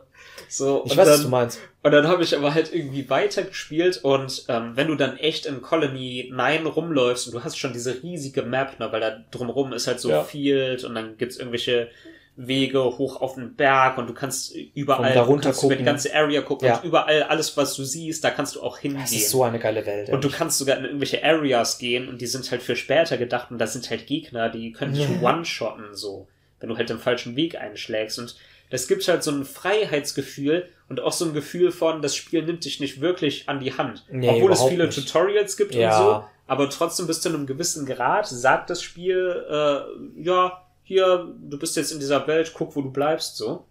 Und und äh, für mich waren dann echt so am Anfang halt so ein paar Magic Moments, die, die irgendwie dann für mich entschieden haben, so, okay, ich spiele das auf jeden Fall weiter, ich bin hooked. Ja, wo die Story Das war weitergeht, halt, ne? als ich das, das erste Mal äh, über äh, Lake Magdalena gestolpert bin, Mhm. äh, weil da bist du irgendwie, ähm, du spielst ja kurz als Fiora und musst Sch äh, Scholk in diesem Outlook Park da suchen. Ja. Dann gibt's eine Cutscene und dann kannst du halt entweder kannst den ganzen Weg zurückrennen und du kannst einfach runterspringen und unten ist so ein, so ein kleiner Teich quasi in der Mitte. Also da gehen ja quasi so in so einem Viereck die Treppen so hoch. Ja. Wie so eine viereckige Wendeltreppe und in der Mitte ist Wasser ganz unten. Ja, ja, kannst wenn, abkürzen. wenn du da runterspringst und das ist Nacht, dann kommt da dieser ähm, Elite-Fisch. Und der ist dann einfach schon, zu dem Zeitpunkt war der irgendwie, keine Ahnung, drei, vier Level höher als ich und hat mich quasi gethree-shottet oder so. Und, und als der mich angegriffen hat und dann dieses Theme kam, äh, You Will Know Our Names, Mhm. da dachte ich so, oh, Alter, ey, das ist, So das epic. ist sick. Und dann, als ich dann quasi gesehen habe, quasi, es gibt diese Monster, gibt's in fast jeder Ecke, wenn du explorst. Ja, ja, halt es gibt auch überall so Minibosse. Ja, die du killen cool. konntest. Das war halt so mein erster Magic Moment. Und dann die Story, ähm, wenn die Mekon Colony 9 angreifen, Angreifen, und was ja. dann passiert. Ja, ja, ja, ja, mit dem Fiora und so, ne? Oh, da, Ja, da, hatte ich wirklich so Shivers. Ich hatte echt so einen so einen Gänsehaut-Moment. Ja, das hatte ich auch selten in Games, muss ich sagen. Und ab da dachte ich echt so, oh, Alter, was ist das für ein Opening für ein RPG? Und da hatte ich dann richtig Bock und dann habe ich auch, ich bin, habe das Spiel auch echt ohne Pause eigentlich dann durchgespielt. Ich mag auch das Setting. Das Setting ist Ja, irgendwie ja. cool, dass so biologische Sachen verbunden Das werden Setting mit ist- so Robotern ist und halt so äh, erstens Sachen. schon irgendwie so ein bisschen gritty für ein JRPG, Ja. weil man hat halt Steampunk. Also äh, das Grundkonzept ist ja, die Welt ist aufgebaut auf zwei Giganten, die Bionis und die Mechonis. Und die, das sind halt zwei Lebewesen quasi und die eine ist biologisch basiert und die andere mechanisch basiert. Die haben irgendwann in der Urzeit gekämpft gegeneinander und sind dann beide scheinbar gestorben und auf ihren Körpern hat sich, haben sich quasi Zivilis Zivilisationen gebildet. Und es gibt halt äh, auf Bionis, also dieser biologischen Dings, gibt es äh, halt Homs, also die sind quasi Menschen. Und da gibt's halt auch alles so an Tieren, Monstern und so, wie man es halt kennt. Das hat halt echt was so mit biblischen Entstehungsgeschichten zu tun. Irgendwie Ja, auch ja. später mit so Gott, Aber Gottheiten sowas ist ja Vibes, auch ne? immer ein essentieller Teil irgendwie von Ja. Worldbuilding und Ja, aber auch bei Xenoblade, ja, gerade aber in Xenoblade ist es auch immer so Kanon der Story, ne? so. Mhm. Du willst immer so wissen, warum ist es überhaupt da und das Spiel ist cool, dass es das erklärt. Warum diese Welt überhaupt so entstanden ist. Weil Auch manchmal wenn es sehr confusing wird teilweise. ne? ja, es ist halt so Meta. Ich habe mir auch ein Lore-Video angeguckt zu den Spielen, wie alle zusammenhängen. Es ist schon äh, Ja. weird. Das ist schon Hanebüchen, ne? Naja, auf jeden Fall. Und dann kommen halt äh, Lebensformen von diesem anderen Koloss, von der Mechonis. Und das sind dann halt Maschinen quasi und die fallen halt über da die Menschen her und fressen die auf und Ja. machen alles kaputt und so. Und es ist schon ziemlich grim und gritty irgendwie. Es ist nichts, was man so erwartet in einem JRPG. Ja, es ist halt so ein bisschen Kriegsszenario-mäßig und so, und dann denkst du, holy fuck, Leute können echt sterben und so, und es Ja. ist Chaos, und das erwartet man irgendwie nicht am Anfang von so einem Game. Ne? Das denkt man Mhm. so, ja, irgendwann kommt das und so, es tangiert mich vielleicht nicht. Aber das macht Xenoblade echt krass gut. Und auch später dann halt auch, wie die Story wieder zurückgeführt wird, ne? Also, will, können wir eigentlich spoilen oder dürfen wir nicht spoilen, ist die Frage, ne, mit Xenoblade ja, 1. ich meine, wenn ihr keine Spoiler wollt, dann könnt ihr ja äh, aussteigen was- was an dieser Stelle oder skippen oder so. Ja. Nee, aber es Ich ist halt, schätze mal, wenn, dann spielt ihr wahrscheinlich, also entweder kennt ihr Teil. die Spiele schon oder ihr werdet sie nicht mehr spielen und steigt direkt mit dem dritten Teil ein. ja. Aber ich- habt ihr jetzt ein bisschen Background-Knowledge vielleicht von dem, was wir erzählen? Ja, ist, Dreh- und Angelpunkt ist ja halt irgendwie, dass, dass Schulk das Monado beherrschen kann und damit halt immer ein, ein Stück in die Zukunft blicken kann. Was allerdings der Storyplot ist, quasi, weil das Monado ihn ja quasi auch manipuliert und lenkt. Und das wird halt dann zum Schluss, führt das halt dann auf, auf die, auf die finale äh, Entscheidung hinzu. Und dann wird man auch rausfinden, warum das Monado so handelt. Ja. Das ist halt sehr verworren. Und an der Stelle muss man auch sagen, also der Monado ist halt äh, so ein Schwert quasi, äh, das kann halt als einziges Mhm. Mekon verletzen. Ne? Genau. Ähm, und, und dieses Monado gibt aber auch Schulk, äh, wie gesagt, die Fähigkeit in die Zukunft zu blicken und das ist auch tatsächlich ein Gameplay-Element. Ja. Weil teilweise seht ihr dann Visionen aus der nahen Zukunft, wo ihr von einer Attacke von einem Gegner getötet werdet. Ja. Und dann könnt ihr darauf reagieren, indem ihr zum Beispiel Monado Arts benutzt. Da gibt's dann zum Beispiel Monado Shield. Dann könnt ihr, wenn ihr seht, ein Charakter wird sterben von der nächsten Attacke, die kommt, könnt ihr quasi vorsorgen und könnt ein Schild auf den machen und dadurch überlebt es dann. Ja. Und das finde ich ein cooles Gimmick. Ja. Also es ist jetzt kein krass Major Gameplay-Mechanik irgendwie. Aber es wird ja zu Aber, Gameplay-Mechanik. aber es ist halt, ich finde es cool, dass sie quasi so die Story noch ins Gameplay einbinden. Ja. es wirkt halt, es wirkt halt total rund dadurch, ne? Dass du durch- dadurch, dass du die Fähigkeit hast, ist auch im Gameplay, auch in der Story ist es ja auch wichtig, was Schulk sieht. Und dann kann er auch verschiedene Leute warnen. Oder kann sie halt nicht warnen und bereut das dann halt später. Und Was ich ein bisschen komisch finde, ist, Mhm. Wenn du einen anderen Charakter spielst, dann Ja. kriegst du trotzdem diese Vision und dann kannst Ach aus so. irgendeinem Grund du Schulk Ja. warnen, Ja, damit ja. er diese Abilities benutzt. Und dann denkst du, hä, Ja, wait, warum wird jetzt Schulk von jemand anders gewarnt, wenn er doch die Vision hat?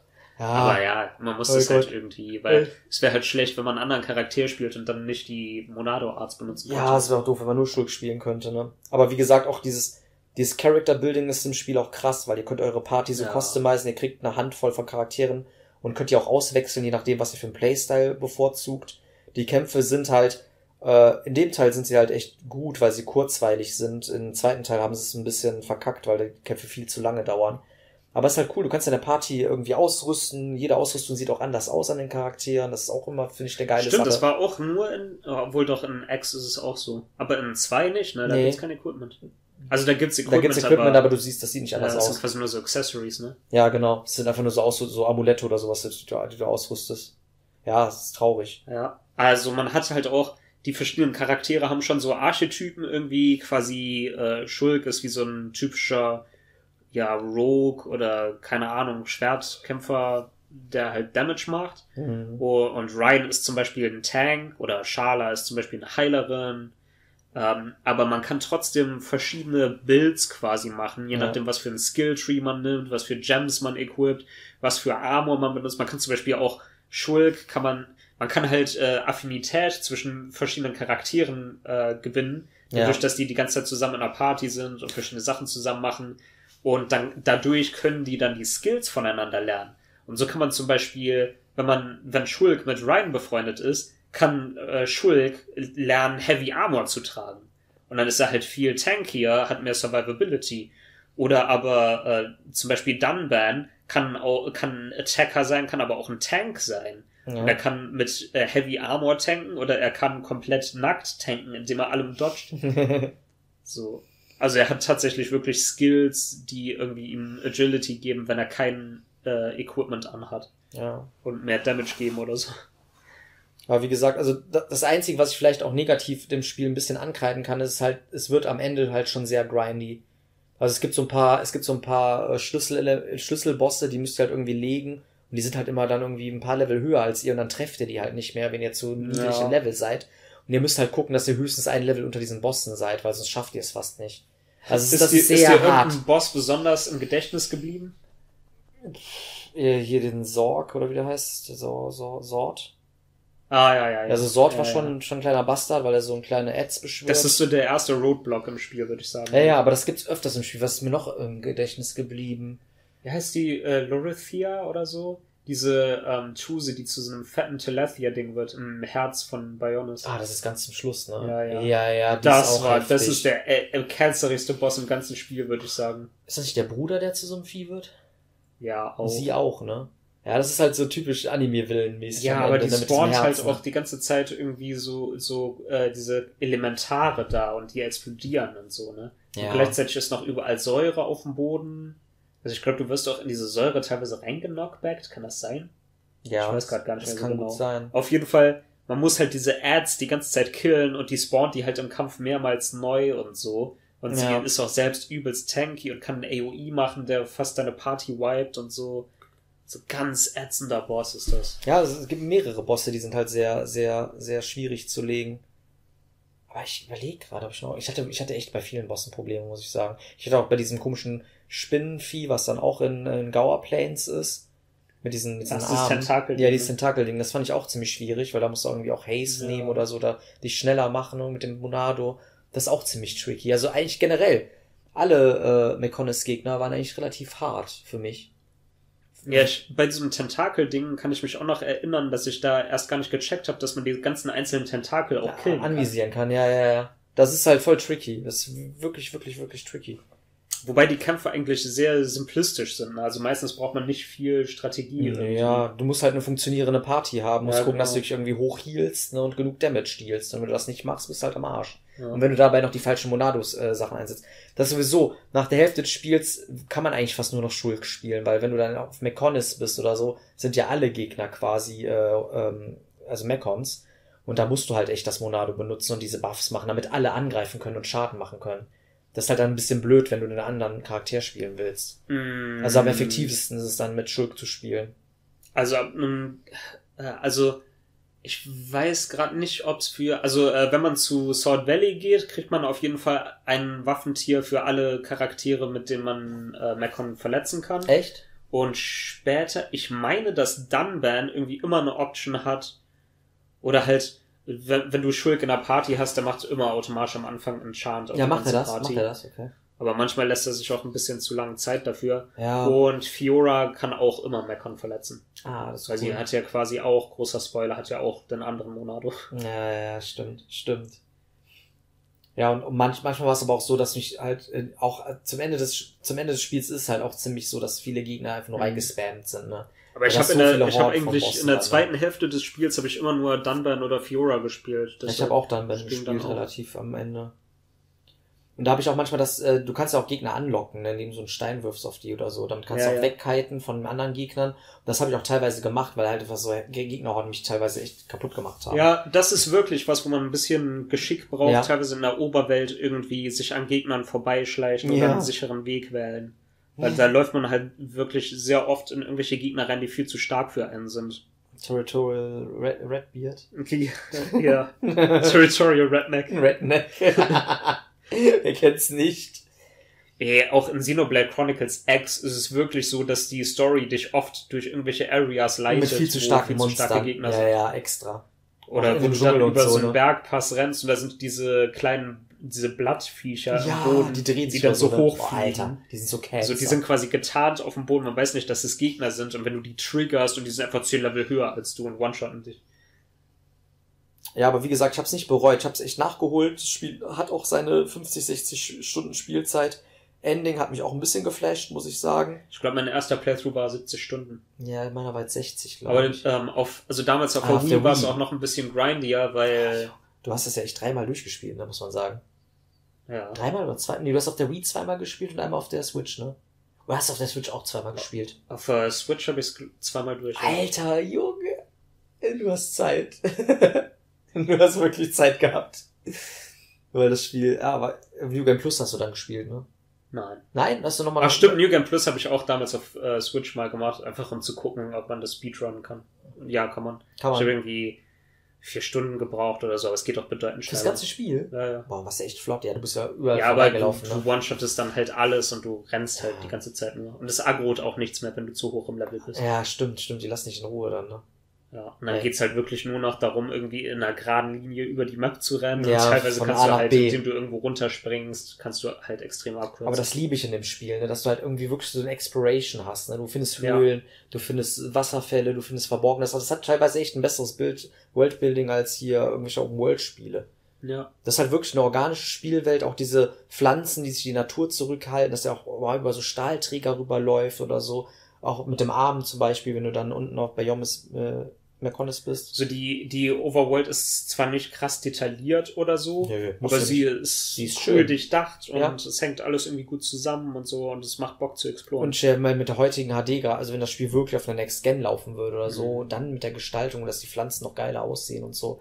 Ich glaube, es Ja. wäre auch Eye Candy, ganz ehrlich. Also klar, das Spiel ist nicht so gut gealtert. ja, Da kann es aber nichts für. Aber auf dem heutigen Standard würde man so ein Worldbuilding im heutigen Spiel haben, mit so einer Fantasy-Grafik, wäre ziemlich geil. Kann ich mir richtig gut vorstellen. Auch die Skylines und so, die Skyboxen und so, sieht alles wirklich, wirklich richtig schön aus. auch Also- in, in Chronicles X, ne? Da die Skyboxen sind richtig Die sind richtig geil, so ne? einem Planeten und Stuff und Nebel und so. Hello, different planet. Junge, Shoutouts an Resident Evil Randomizer Spiel, äh, Playthrough von uns. Ja, aber wie gesagt, ich habe den ersten Teil nachgeholt. Danach habe ich den zweiten Teil nochmals nochmal angefangen. Also irgendwie immer so. Wahrscheinlich will ich den dritten Teil auch einmal anfangen, nicht spielen und danach richtig durchspielen. Nein, Ja, der zweite Teil hat ja dieses halt mit den Blades, ne, dass du dann halt äh, Mithra und Pyra bekommst und die Story ist halt ein bisschen anders als bei Xenoblade Chronicles 1. Das ist ein bisschen verkindlicht, irgendwie alles. Charaktere sind auch ein bisschen nerviger in dem Spiel und das Kampfsystem ist halt wirklich nicht so gut wie in dem ersten Teil. Also Chronicles 2 hat mir auch viel Spaß gemacht oder so, aber so retrospektiv fand ich Chronicles noch ein bisschen besser. Obwohl ich sagen muss, dass die, dass das Torma, dass die, äh, der DLC, der ist halt richtig, äh, richtig runtergedampft. Das ist echt so ein schönes 20-Stunden-RPG, was man einfach mal so zwischenschieben kann. Und das, ist- das hat ein geiles Kampfsystem. Hm. Weil da hast du mal zwei Charaktere auch geb- gebunden aneinander, aber wenn du die einwechselst und den anderen Charakter spielst, macht er auch eine Attacke quasi, wenn er eingewechselt wird. Also du könntest dann quasi jetzt übertragen auf zum Beispiel Rex und Pyra, könntest du dann auch mit Pyra Genau, kämpfen. paar mit Pyra kämpfen, ja, du kannst dein. Blade benutzen, ja. Und bei dem Chronicle 2 war das ja so, dass das Blade immer im Hintergrund stand und dich gebufft hat einfach. Was so. ich komisch fand, Mit der immer, Waffe. ich dachte immer irgendwie, es würde viel mehr Sinn machen, wenn Rex die kämpfen, stände ne? und Pyra Ja, kämpft. ja, das wird auch mehr. Irgendwie halt voll powerful ist und so. Obwohl ich das Blade-System geil finde, weil das, die, diese Blades, also diese, diese Charaktere kannst Ja. du in so einem Gacha-System, kannst du dir quasi äh, zufällig kriegst du dann irgendwelche Charaktere, die dann anders sind. Das macht irgendwie die, das Party-Building wieder geil. Also ich muss sagen, Chronicles 2, äh, Xenoblade Chronicles 2 ist von der Party-Building und von den Charakteren geiler als der erste Teil, weil es einfach mehr Va- Variety gibt. Aber der erste Teil hat ein besseres Kampfsystem. Das ist halt, das ist die Krux daran. Und ich Ja. schätze mal, im dritten Teil schaffen sie es, beide Systeme Ich zu muss auch sagen, also ich habe zweimal auch äh, Chronicles 2 angefangen Ja. und ähm, ich, ich konnte irgendwie nicht warm damit werden, aber ich glaube auch, ähm, dass ich irgendwie zu viele Vorurteile habe oder so oder mich halt irgendwie Ja. über die guten Seiten des Spieles so ein bisschen wegtäuschen lasse, weil ich habe hab halt auch dieses übertrieben Anime-Stereotype Ja, ja, ja. bei, bei den Charakteren und voll over-the-top Cutscene mit alles explodiert und Leute fliegen durch die Luft und Dragon Ball und ähm, ja, es ist. und, und auch wie übersexualisiert irgendwie die Charaktere Ja, sind muss oder wie, sein, aber wie dumm ist so. Rex aussieht oder so. Halt, das sind alles für mich so ablenkende Sachen irgendwie. Ähm, aber ich denke irgendwie, dass, dass ich mich davon schon darüber hab hinwegtäuschen lassen, dass es eigentlich ein geiles Spiel Es ist ein geiles Spiel, wirklich. Und auf den Gedanken komme ich ist- dadurch, weil ich nämlich genau diesen Fehler bei Chronicles X gemacht habe. Oh ja. Weil ich habe das damals, glaube ich, sogar zu Release gekauft. Und ich habe es, keine Ahnung, vielleicht ja. fünf bis Sechs ja, fünf Stunden Stunden gespielt, oder so ja. gespielt. Die, die erste Area, die ersten paar Story-Missionen gemacht.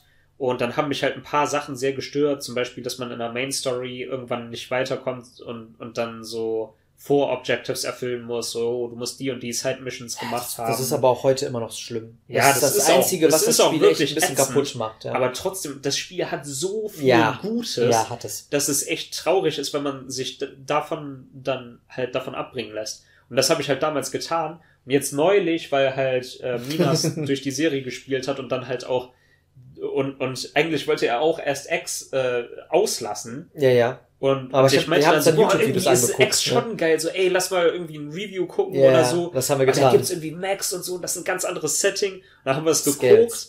Und dann, dann hat, äh, ja, hat Minas das halt gespielt und da hatte ich auch irgendwie Bock darauf, hab mir meine alte Wii U von so meinen geil, Eltern ne? geholt. Das ist so gut, dass du deine Wii U Und ich habe es auch hast. angefangen zu spielen. Ich bin jetzt so ungefähr halb durch, schätze ich mal, Ja. höchstens. Kann gut sein. Aber ich bin auf jeden Fall um einiges weiter jetzt schon als damals, als ich es angefangen habe. Und es macht auf jeden Fall richtig Bock. Es ist ein Und es geiles hat, Spiel. es hat echt einige Verbesserungen auch gegenüber dem ersten Teil. Hat es, ja. Also schon allein das Setting ist so geil. Ne? Ihr macht euch einen eigenen Charakter.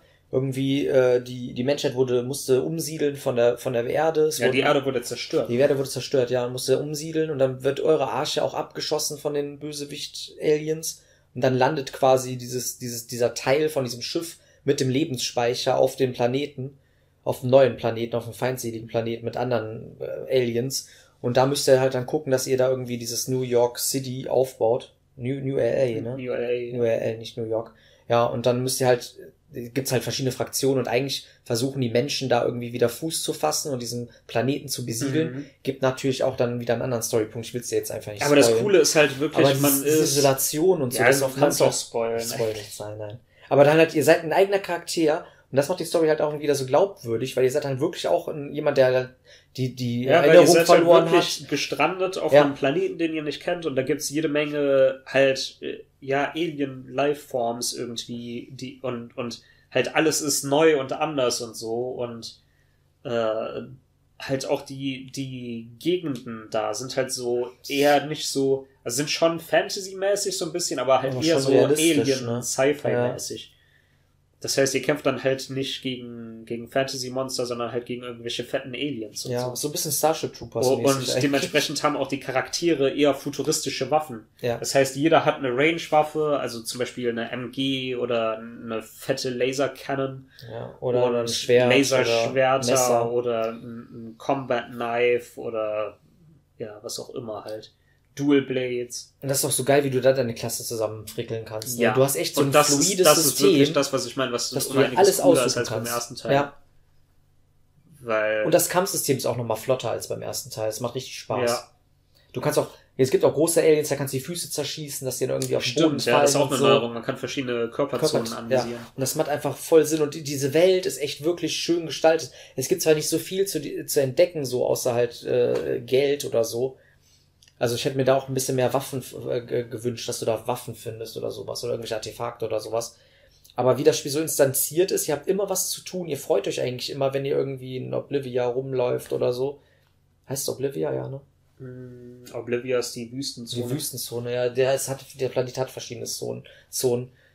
Aber das Spiel hat wirklich, wie gesagt, diese Quest-Struktur ist halt schon painig, dass ihr sagt, Ja. oh, du musst Stufe 24 sein und musst äh, seltsamer Vertrauter abschließen und die Katze Ja, ist im das Brunnen ist halt gefallen. teilweise sehr das obskur gemacht, Ja. weil man dann gar nicht weiß, was diese Quests, die man gemacht haben muss, Ja. überhaupt sind, wo die zu finden Ja, ja, sind. und wo die NPCs sind, die dir diese Quests geben und so. Du bist eigentlich ständig am Suchen. Am besten nimmt man sich echt einen Guide Ja. und guckt, wo diese Leute rumstehen. Das erspart einen sehr viel Trouble im Spiel. Aber dennoch, es hat eigentlich eine richtig krass gute Exploration. Ihr könnt auch voll schnell rennen und hochspringen. Und später, Ja. du hast noch keine Skills, ne? Ich bin kurz davor, Kurz ich bin davor. quasi bei dem Examen, wo man irgendwie Ja. acht oder Ah, zehn musst- Sidequests machen muss, Ja. bevor man das Examen machen kann. Naja. Aber ihr kriegt auch später echt so ein Scale, halt so ein, so ein, so ein, so ein Roboteranzug, mit dem ihr auch äh, euch besser bewegen könnt und schneller seid und so. Und das öffnet dann auch wieder in der Open World einiges. Und das kann, da könnt ihr auch im Kampf diese Scales benutzen. Und ihr könnt auch später für eure Teammitglieder Scales kaufen, könnt ihr einfärben, könnt ihr customizen.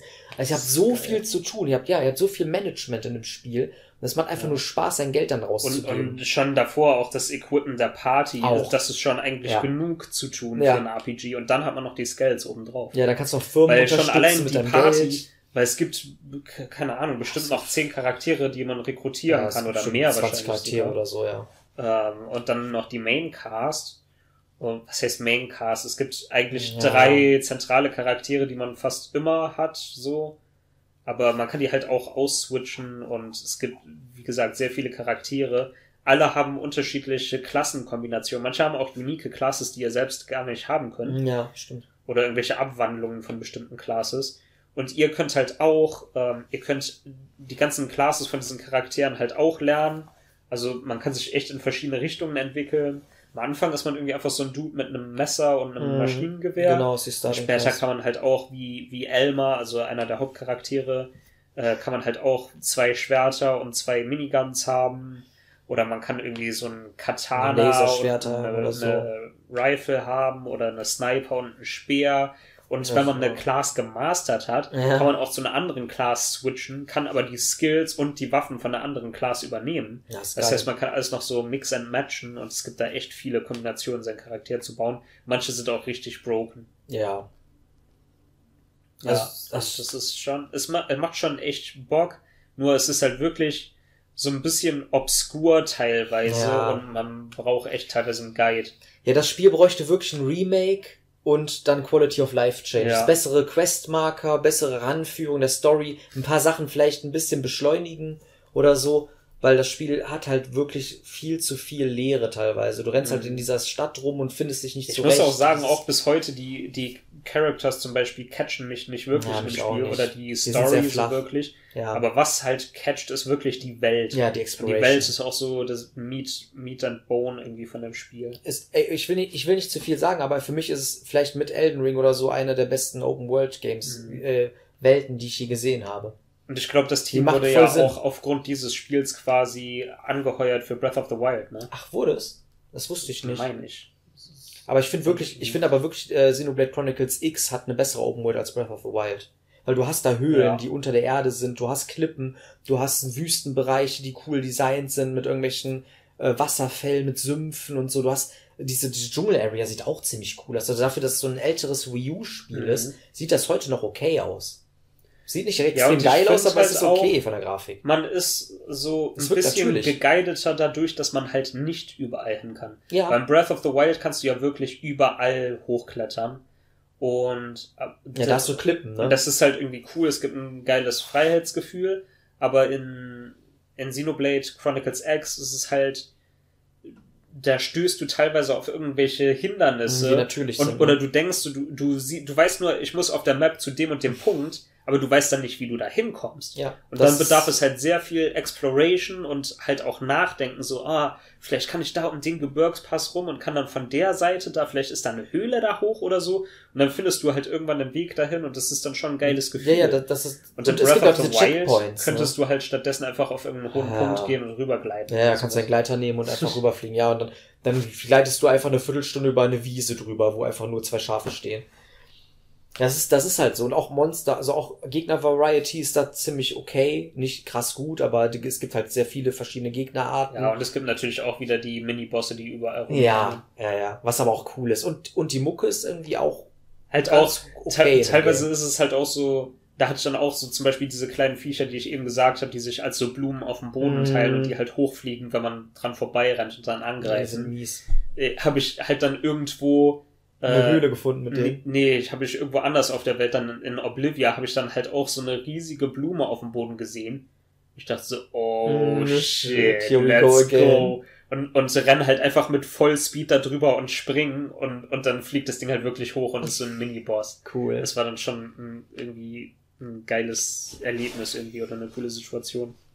Ja, nur äh, negativ muss ich dem Spieler auch wieder ankreiden. Es ist sehr grindig und die, die letzten drei Bosse sind so, so scheiße schwierig. Ja. Es, es erinnert mich schon fast ein bisschen so an Lilith, an Lilith Wars äh, Bosse. Also es ist wirklich so, ein- so ein Mix-up und so von Lilith Wars Bossen, dass du halt mehrere Sch- Schwachpunkte kaputt machen musst von Bossen und sonst was. ist cool designt. Und da hätte eigentlich wirklich, da, da, da, da spielt die Steuerung so ein bisschen einen einem Streich mit der Kamera und so. Wird man das heute echt remaken mit den Scales, dass das noch besser funktioniert, wäre das echt eins der Ach, besten kämpft RPGs. man da mit den Scales zum Ja, Schluss? Du kannst ja immer mit deinen Scales kämpfen. Es gibt fast, vor allen späteren Bossfights kannst du auch mit Scales kämpfen. Oh, Ja, dann hat, man, spoilern, aber dann hat man aber einen übelsten Nachteil, wenn man das nicht tut, oder? das Problem ist aber auch, ich, ich, ich habe so oft mein Spiel reloaded, weil irgendwelche äh, PCs ja kaputt gegangen sind. Das ist so scheiße teuer, die zu reparieren. Also ein Scale ist wirklich, ich habe mir noch selber kaputt gemacht. Ich bin in so einem buttonless Pit reingefallen, wurde wieder gespawnt und war mein Scale kaputt. Boah. Ja, und das, also wenn du ein Scale hast, mach immer Zwischenspeichern. Ja, ja. Immer wenn du irgendwo bist, mach wenigstens ein Save, weil das hat mich auch, glaube ich, so fünf Stunden oder sechs Stunden zurückgeworfen. Boah. Ja, weil ich einfach das Geld nicht mehr zusammengekriegt habe. Dachte mir so, Alter, nur wegen dem Scale, weil er jetzt kaputt gegangen ist, dann habe ich halt nicht gespeichert, habe resettet.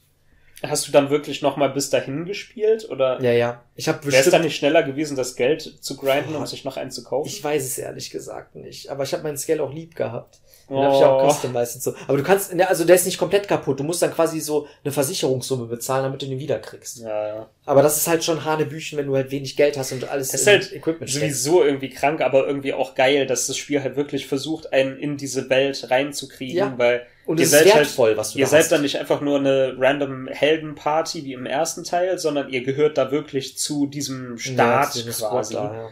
Ähm, und Der kämpft fürs ähm, Überleben, ne? insofern sind zum Beispiel die Checkpoints, also was im ersten Teil die Landmarks waren, das waren einfach irgendwelche random Punkte auf der Map, Mhm. die, wo ihr halt dann hingekommen seid und dann war das ein Checkpoint und ihr konntet da respawnen. Dort ist es dann aber so, ihr müsst diese Checkpoints quasi selbst herstellen, Ja. indem ihr solche äh, Probes, also Sonden, in den Boden einpflanzt und die sind, die sind quasi bohren sich in den Boden rein und fördern quasi die ganze Zeit Miranium, heißt das ist quasi so eine universelle Währung auf diesem Planet, die da abgebaut wird. Ja.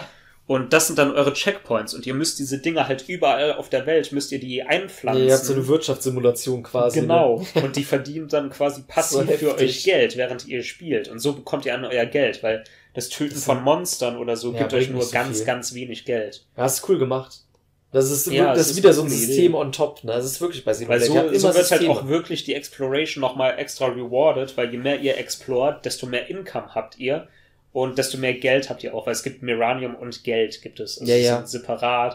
Und dieses Miranium zum Beispiel, das muss man auch die ganze Zeit spenden an so Waffenhersteller. Ja, genau, und die Und die, dann die erforschen dann dadurch neue Waffen, die ihr dann kaufen Und das ist Echtzeit, ne? Ich glaube, alle 30 Minuten bekommst du die Mineralien und alle Stunde kriegst du das Geld.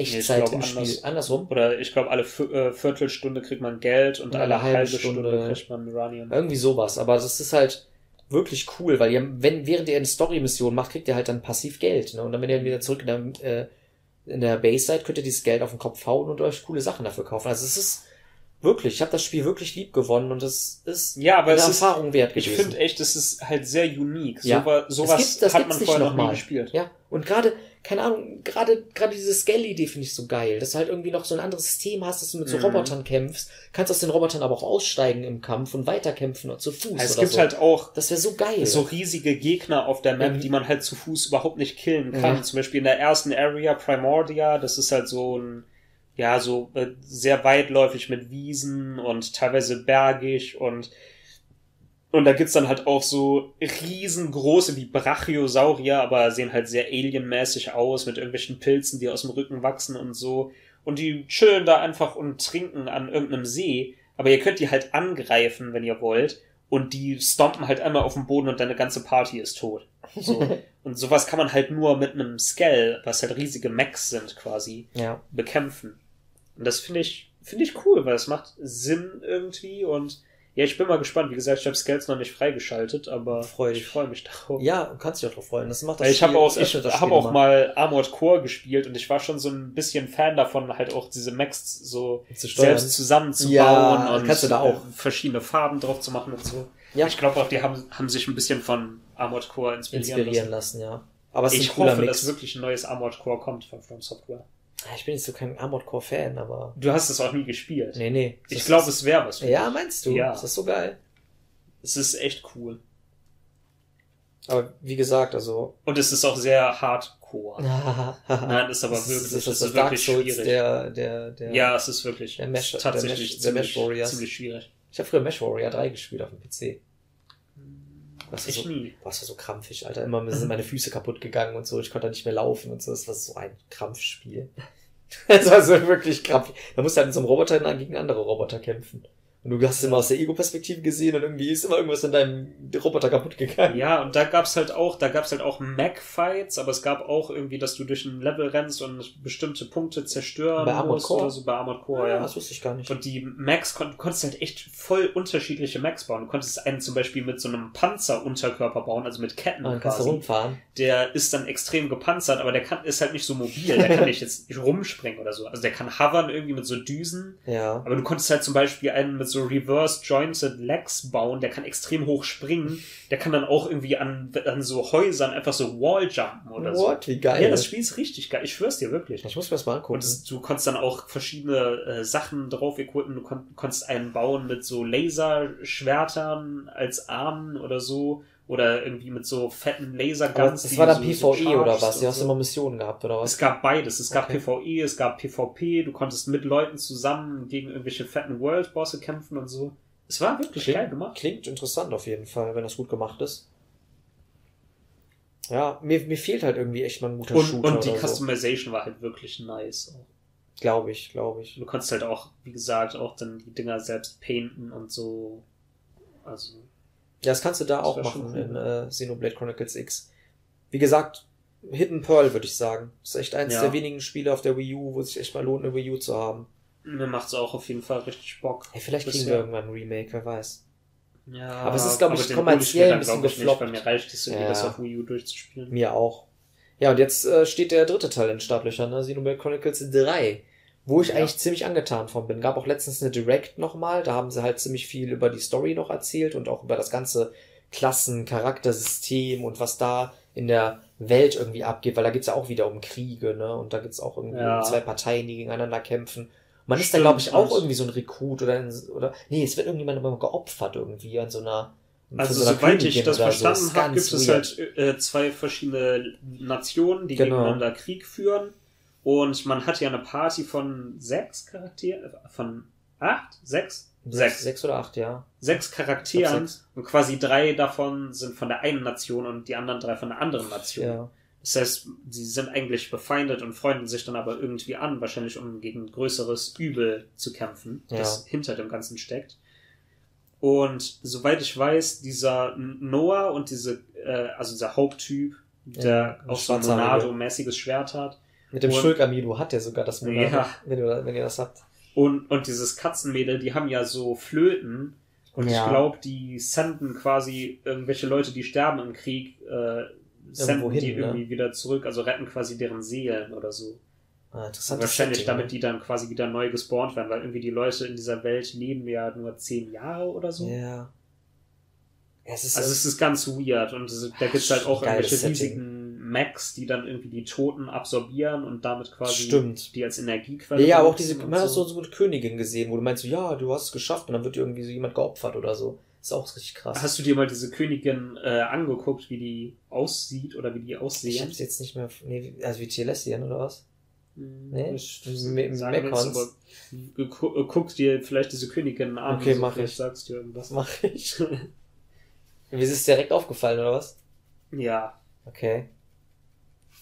Also auf jeden Fall, die, ich weiß nicht, gibt's zwei Königinnen?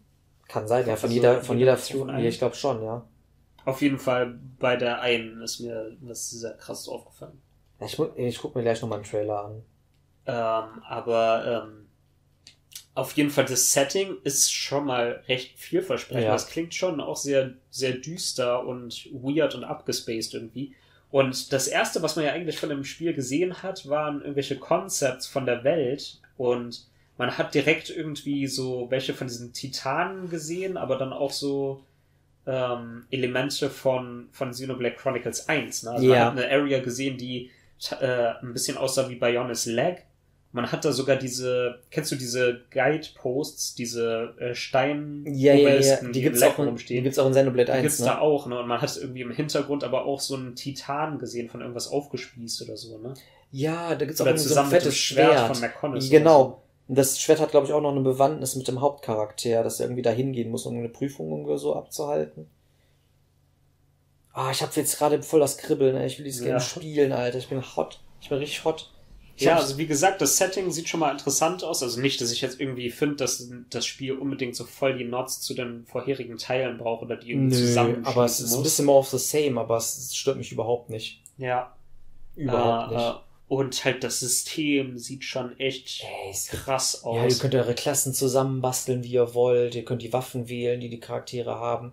Jede Waffe hat, Waff, Waffel. Jede Waffe hat irgendwie noch eigene Fähigkeiten, dass sie irgendwie schneller Schaden machen oder den Gegner aus dem Gleichgewicht bringen oder so. Der Cast von den Charakteren sieht auch sympathisch aus, finde ich. ja. Ich habe jetzt auch niemanden, den ich so krass unsympathisch finde. Und das geile Feature ist natürlich auch, dass die beiden Charaktere sich fusionieren können zu Ja. einer neuen Form. Ist halt auch Das wieder ist so System krank, ja. Systemen, ne? Ja, ja, es ist einfach, es wird, glaube ich, nicht langweilig. Ich glaube, es gibt auch wieder so Gems irgendwie für dein Equipment. es gibt, glaube ich, alles. Alles, was vorher Also gab. du hast, du hast erstmal deine Charaktere, ja, die alle Klassen. verschiedene Rollen quasi Ja. haben. Diese Rollen Waffen. kann man aber auch ändern. Ja. Man kann die Charaktere ausswitchen. Man kann hin und her switchen, wie man gerade steuert im Spiel. Ja, so wie im zweiten Teil. Man kann jeden zu einem Tanker, zu, zu einem Tank, zu einem Attacker, zu einem Healer machen. ja. Man kann dann noch die Charaktere fusionieren zu so fetten Megaswords oder so.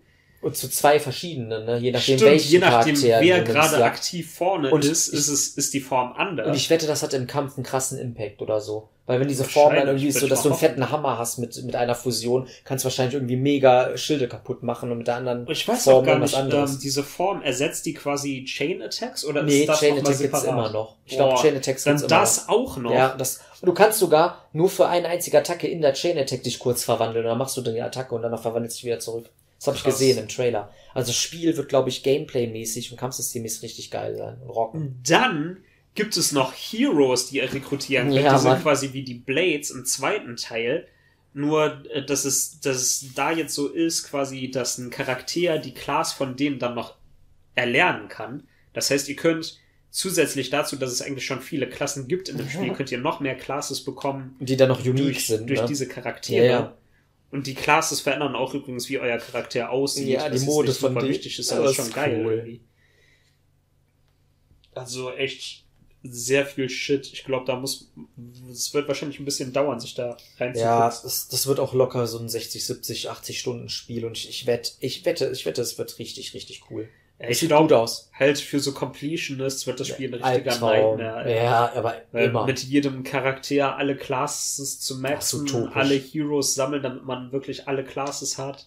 Aber den Ansporn habe ich bei den Spielen nicht. Nee, ich auch Will nicht. ich auch nicht, Alter. Dann setze ich jetzt immer noch Also das bist du auch einfach irgendwann zu overpowered. Ja, es macht's auch langweilig. Aber ich habe halt, ich habe In Xenoblade Chronicles ähm, Definitive Edition konnte man ja sein Level wieder runtercappen. Ja, da gab's ja diesen Modus. das war, war ganz cool. Das war gut zum ich, Trainieren. Soweit ich gehört habe, gibt's das nicht im neuen Teil. Ist aber auch nicht nötig, hatte ich im zweiten Teil auch nicht. Da nee, musst ist du halt auch stumpf nicht grinden. nötig, aber wenn man halt extrem viel Ja. grindet, dann ist man halt irgendwann overpowered, ne? Ja, aber ich finde, das Spiel macht einen schlechten Job, wenn es diese Option geben muss, weißt du. Also, Ja, es, aber das ist eine RPG-Krankheit. Ich, klar, die Leute, das ist aber auch bei Elden Ring. Noobs, die jetzt in Elden Ring spielen, die leveln sich halt ihren Charakter auf Level 500 und schaffen das Spiel.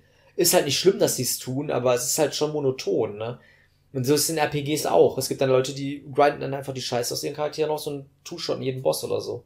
Ich finde das okay, dass es in den Ich Spielen will gar nicht ist. wissen, wie Ich lange es dauern nicht. würde, auf Level 500 zu kommen bei, bei, Elden- Elden Ring. bei- ey. Sehr lange Das höchste, was ich geschafft habe, war irgendwie vielleicht 110 oder so. Es gibt sogar 120. AFK-Farmen. Es gibt irgendwie so eine Gruft, wo du dich hinstellen kannst, da spawnen die ganze Zeit Gegner und wenn du dich irgendwo hinstellst, dann fallen die irgendwie runter und du kriegst dadurch Runen. Und die spawnen die ganze Zeit immer Ja, weiter. ja, ja, ja. Da gibt's irgend so eine, es gibt voll viele. Das Äh, Einzige, was ich kenne, ist ähm, diesen- in dem Level den Boulder. von... Nee, in dem, im Level von Moog, da äh, st- stehst du einfach oben auf so einer Klippe, da ist direkt auch so, ein Gra so eine Site of Grace Ja. und ähm, wenn du runter guckst, ist da so ein, so ein riesiger Rabe Ah, unten in so einem Blutsumpf. Und wenn du den abschießt mit einem Pfeil, kommt, rennt er auf dich zu und stürzt von der Klippe und das Ding gibt halt irgendwie 10.000 Und das ist heftig. Seelen oder so. Und du kannst halt einfach den abschießen, kannst dich direkt ans Grace Spawnen, setzen und ne? während Ja. du da dran sitzt, kriegst du dann die Seelen, kannst direkt wieder aufstehen, kannst wieder schießen. Hast du selber rausgefunden, den Trick? Nee, nee, hab ich schon Okay. im Video gesehen. Nee, ich genau. Ja, es gibt voll viele XP-Tricks. Auch das irgendwie so, bei irgendeinem so einem Turm kannst du runterreiten und dann kommt so eine Kugel, die spawnt hinter dir, dann musst du nach rechts leiten und dann fällt die Kugel runter, stirbt, ist dann ein Gegner, diese Kugel. Und dann kriegst du auch voll viele, äh, voll viele Seelen dadurch. Oder Runen.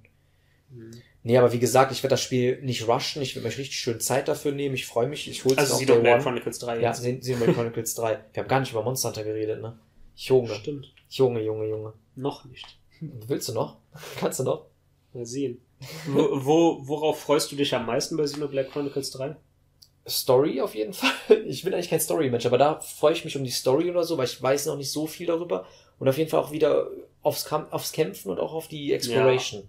Ja, das Bei dir ist auch für so? mich halt auch das. Also halt irgendwie so Classes zu unlocken und so meine Party zu customizen Ja. und halt die Exploration. Ja. Ja, das ist Dreh- und Angelpunkt. Das ist halt schade, dass jetzt bei Xenoblade Chronicles 2, da wurde ja, da wurde voll, äh, bei diesem Trauma DLC, da wurde auch voll viel reused aus dem Main Gaze. Quasi ganz Gormod wurde quasi reused. Das ist ein bisschen lazy gewesen. Aber ich freue mich jetzt halt wirklich auf eine Gormod ist die erste Area Mhm. in, genau, nach dem Wald quasi, dieses große äh, Giraffenvieh. Dieser erste Koloss quasi. ähm, Aber hat geile Musik. äh, zusätzlich zu diesen ja, Mini-Boss-Gegnern, also diesen Elite-Gegnern in der Welt, gibt's jetzt noch so Skirmishes, ne? Wo Mhm. irgendwelche zwei Parteien gegeneinander kämpfen und Ja, du, du kannst, kannst die kannst dich für ne? eine Seite entscheiden und kriegst dann verschiedene Rewards, ne? Stimmt. Das ist auch interessant irgendwie. Ich Ja, es bin ist mal sehr- gespannt, ob das echt irgendwie was Sehr hermacht. kriegsthematisch, ne, das Spiel. Und ich frage mich halt auch, wie die Sidequests designt werden. So wie in den anderen Teilen. Ja, aber glaub, es in zwei sind die ja auch sein. sehr anders als im ersten Teil, oder? Ja, bei eins ist halt so, dass es auch viele Fetch-Quests sind, aber die gehen von sehr wenigen Personen eigentlich aus. Hm. Aber, keine Ahnung. Also, beim zweiten finde ich schon ein bisschen besser als im ersten Teil. Das ist halt so, oh, äh, keine Ahnung, unsere Farm hat kein Wasser mehr, guck mal mal nach. Und dann gehst du halt um die Farm drumrum und dann findest du halt so einen kleinen Keller oder so mit einem Boss oder sowas, sowas eher Ja. halt. Das Also so Sidequests, die echt so eigene Bosse hatten oder so, gab es im ersten Teil sehr, sehr, sehr ja, wenig. leider, leider. Es Da gab echt, es gab einen so einen richtigen äh, Overboss. In, hast du jemals die Questline mit den Noppern gemacht äh, von dieser, von diesem Frontier Village? Nee. Das ist ein fucking Drogenkartell, ne? Echt? Ja, die sind echt so eine What? Drogenmafia. Die sind What? richtig psycho, die Viecher. Die Nopons? Die haben ja diese komischen äh, Puffballs da, diese Sporenbälle da, die die da produzieren. Ja. Das ist quasi irgendwie so eine Droge und dann ist da echt so voll die Gangstergeschichte hinter. Nachher kämpfst du gegen den Don Machiko äh, Over Drogenlord Boss. ist das ein Der, Nopon, der reitet, ja, so ein Nopper, der reitet auf so einem Flugsaurier.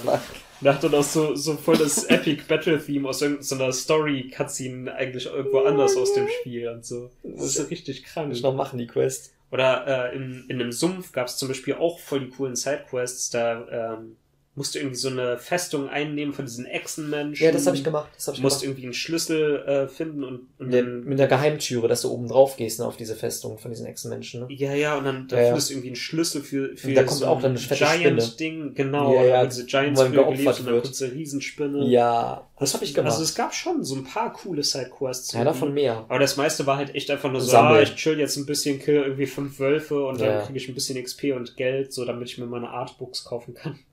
Wobei, da, da hatte ich ja noch das Problem, dass ich irgendwie so Flam Flamingo-Zeug braucht oder sowas und das ist dann random irgendwo in irgendeiner Höhle gespawnt.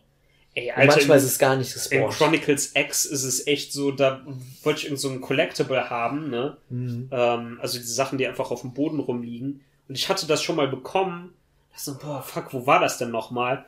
Dann, dann habe ich halt das gegoogelt und dann äh, gab's das, stand da irgendwie drei verschiedene Locations auf der World Map, wo man das kriegen konnte. Und dann Und gab's das, immer nur äh, zu einer bestimmten, zu Ja. bestimmtem Wetter, zu einer bestimmten Das Uhrzeit. Ich so, what the Ja, Wie soll man mies. auf sowas kommen Ja, von ich alleine? weiß. Das geht gar nicht. Ah, das ist in X öfters so. Oder, oder dann hatte ich einen Sidequest, so, äh, ich habe mir gar nicht groß den Text durchgelesen und dann äh, als Objective stand dann da halt so, ja, kill irgendwie fünf äh, Fubli-Dubelis, also irgendwie irgendwelche kleinen Insektenviecher in der Ja. und der Gegend und du hast die, hast dann auch so einen Mar Marker auf der Map, wo die sind. Ich da hingegangen, kill die, nichts passiert. Ich so, ja, okay, die haben nicht das richtige Item gedroppt.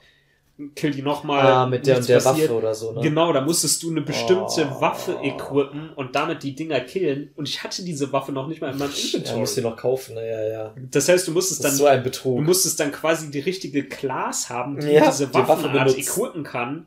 Und musstest dann noch die Waffe besitzen. Und das alles nur für einen fucking Sidequest. Ja, ja, dass das es irgendwie 3000 Punkte bringt. gibt oder so. Ja, ja, das ist, das hatte ich auch mal. Das ist so frech. Aber von diesem Bullshit-Design sind sie ja weggegangen. Ja. Das wird auch im dritten Teil nicht sein, aber ich freue mich wirklich auf die, auf das, auf die Welt, auf die Charaktere, auf die Story. ja. Ich weiß, ja, ich ich weiß, freue was mich mich echt erwartet. darauf, auch irgendwie überrascht zu werden und vielleicht Ja. von irgendwelchen coolen Plot-Twists oder von irgendwelchen Systemen, von denen man vielleicht noch nichts weiß. Aber ich glaube, das meiste wurde halt wahrscheinlich schon gespoilt, Ja, leider. Ja, aber, ja, aber schon allein dieses Verwandeln und so wird auch in die Story eingebaut und so, warum Mhm. das überhaupt so ist und so, das finde ich auch irgendwie geil. Also es wird wieder so einen Purpose haben. So ein Ja, Eye-Opener mal am, gespannt, am, am Ende, ja. Das ist halt immer kryptisch. Und auch wie, wie, related, ne? Wer weiß, was vielleicht von eins oder zwei darin verwurstet wird. Wahrscheinlich nicht viel, aber hm, man weiß Ich nicht. denke echt, dass irgendwie ein, irgendein Ereignis passiert ist, das quasi die Welten von 1 und 2 wieder zusammengefügt hat. Kann gut sein. Das ist halt wirklich echt irgendwie so ein Mix-up, ne? Also es wirkt halt auf jeden Fall so, Mhm. was man bisher so gesehen hat. Ja, Mhm. ich bin sehr gespannt. Ja, ich auch. Ich auch. Freue mich. Erscheint ähm, 27. Juli, glaube ich. Diesen Monat auf Diesen jeden Fall. Monat, ja. Ist nicht mehr so lange hin. Ende diesen Monats. Also wir haben jetzt den Ich bin 15. gespannt. Juli, wo wir das jetzt hier aufnehmen. Ja, ansonsten, wie gesagt, wir zocken jetzt gerade eigentlich noch Monster Hunter Rise Sunbreak. Ja. Da kommen ja auch noch Title-Updates, ne? Mit neuen Mass Monstern. Massive und so. DLC Expansion. Ich meine, wir haben die jetzt schon wahrscheinlich irgendwie ja, 40 ich- Stunden. 30, 40 Stunden locker, ja. Ähm, Ja, und ich bin noch nicht mal durch. Wobei natürlich auch viel Ja. Wegstreckung da ist, wo man einfach Master Rank grinden muss, Ja. bis man hoch genug ist, um das nächste das ist Story auch Quest frech. zu Das ist auch wirklich frech in dem Spiel. Hey! Ja, Bloodborne Card ist schon eine feine Sache. Ja, wir haben gerade noch eine Runde Bloodborne Card gezockt. Ja. Jetzt sind wir fresh aber, weiterzumachen. aber die AI ist Trash, Alter. Die bleibt die ganze Zeit Ja. an den Environments Mhm. hängen. Das ist schon kacke. Dann wiederum, ich bleib auch mal in Environments hängen. Also bist du eine AI? Plot Twist! Wer übrigens nicht an der Environment hängen bleibt, sind die Monster Hunter Bosse. Das stimmt, ey, die können echt überall hin. Obwohl, wir haben ja, wir müssen sagen, wir haben vorher die Demo gespielt, ne? Weil es gab, es gibt eine, oder es gibt immer Ja. noch eine Monster Hunter Rise Demo, die bescheuerter eigentlich Sunbreak nicht, Demo, genau, aber die bescheuerter, nicht, bescheuerterweise nicht so blöd angepriesen sein könnte, wie sie auch ist. Weil wir haben die ja nicht gefunden. Ach so, da meinte ich auch so, hä? Doch, du hast die ja gefunden. ja, ja, ich hab's dir ja dann später gesagt. Aber hattest du auch Probleme, die zu finden? Ja, weil ich habe halt gesehen, so es gibt keine offizielle Demo, dann habe ich die normale Monster Hunter Rise Demo runtergeladen und dann steht da drin, dass man da auch die Sun, äh, Sun, äh, Rise, Sunbreak Genau. Demo also quasi, ihr müsst in den E-Shop gehen und dann ist da nicht äh, äh, Monster Hunter Rise Demo und Monster Hunter Rise Sunbreak Demo, sondern Nö. da steht da Monster Hunter Rise Demo. Ja. Also das sieht dann quasi wirklich so aus, als wäre es nur die Demo fürs Main Game. Ja. Und wenn ihr dann da draufklickt, gibt's dann ein Untermenü, wo ihr auswählen könnt, entweder die Demo fürs Base Game oder für die Expansion. Ja, das ist doof geregelt. Ich habe halt echt, ich habe voll lange gesucht nach dieser scheiß Demo. Und dachte so, ja, okay, die ist dann wohl noch nicht, nicht. äh, Ja, da. Und dann irgendwie am nächsten Tag, hm, okay, ist noch seltsamerweise immer noch nicht da, obwohl Leute das schon die ganze Zeit spielen und davon Videos machen und so. Ja, das ist irgendwie unglücklich. Ich denke mal, Nintendo will nicht, dass irgendwelche Spiele doppelt irgendwie auftauchen im E-Shop oder so, weil es irgendwie einfach ein DLC Ja. ist. Ich habe keine Ahnung, was Nintendo sich dabei denkt. Aber die, wir haben Dann schon. wiederum andere Games, da suchst du irgendwie, keine, äh, keine Ahnung, Ja, du dann- suchst Final Fantasy und dann kriegst du neben den Spielen, kriegst du irgendwie so, zum Beispiel so Items, die du extra kaufen kannst. Oh, Waffenpaket, extra Kristallpaket, Bonus-Charaktere für Crystal Chronicles und was weiß ich was. Ja, das ist schon, irg- ich weiß auch nicht, was die das sollen. Aber wir haben halt Sunbreak Demo schon vorher gespielt, um das Spiel jetzt einzugucken.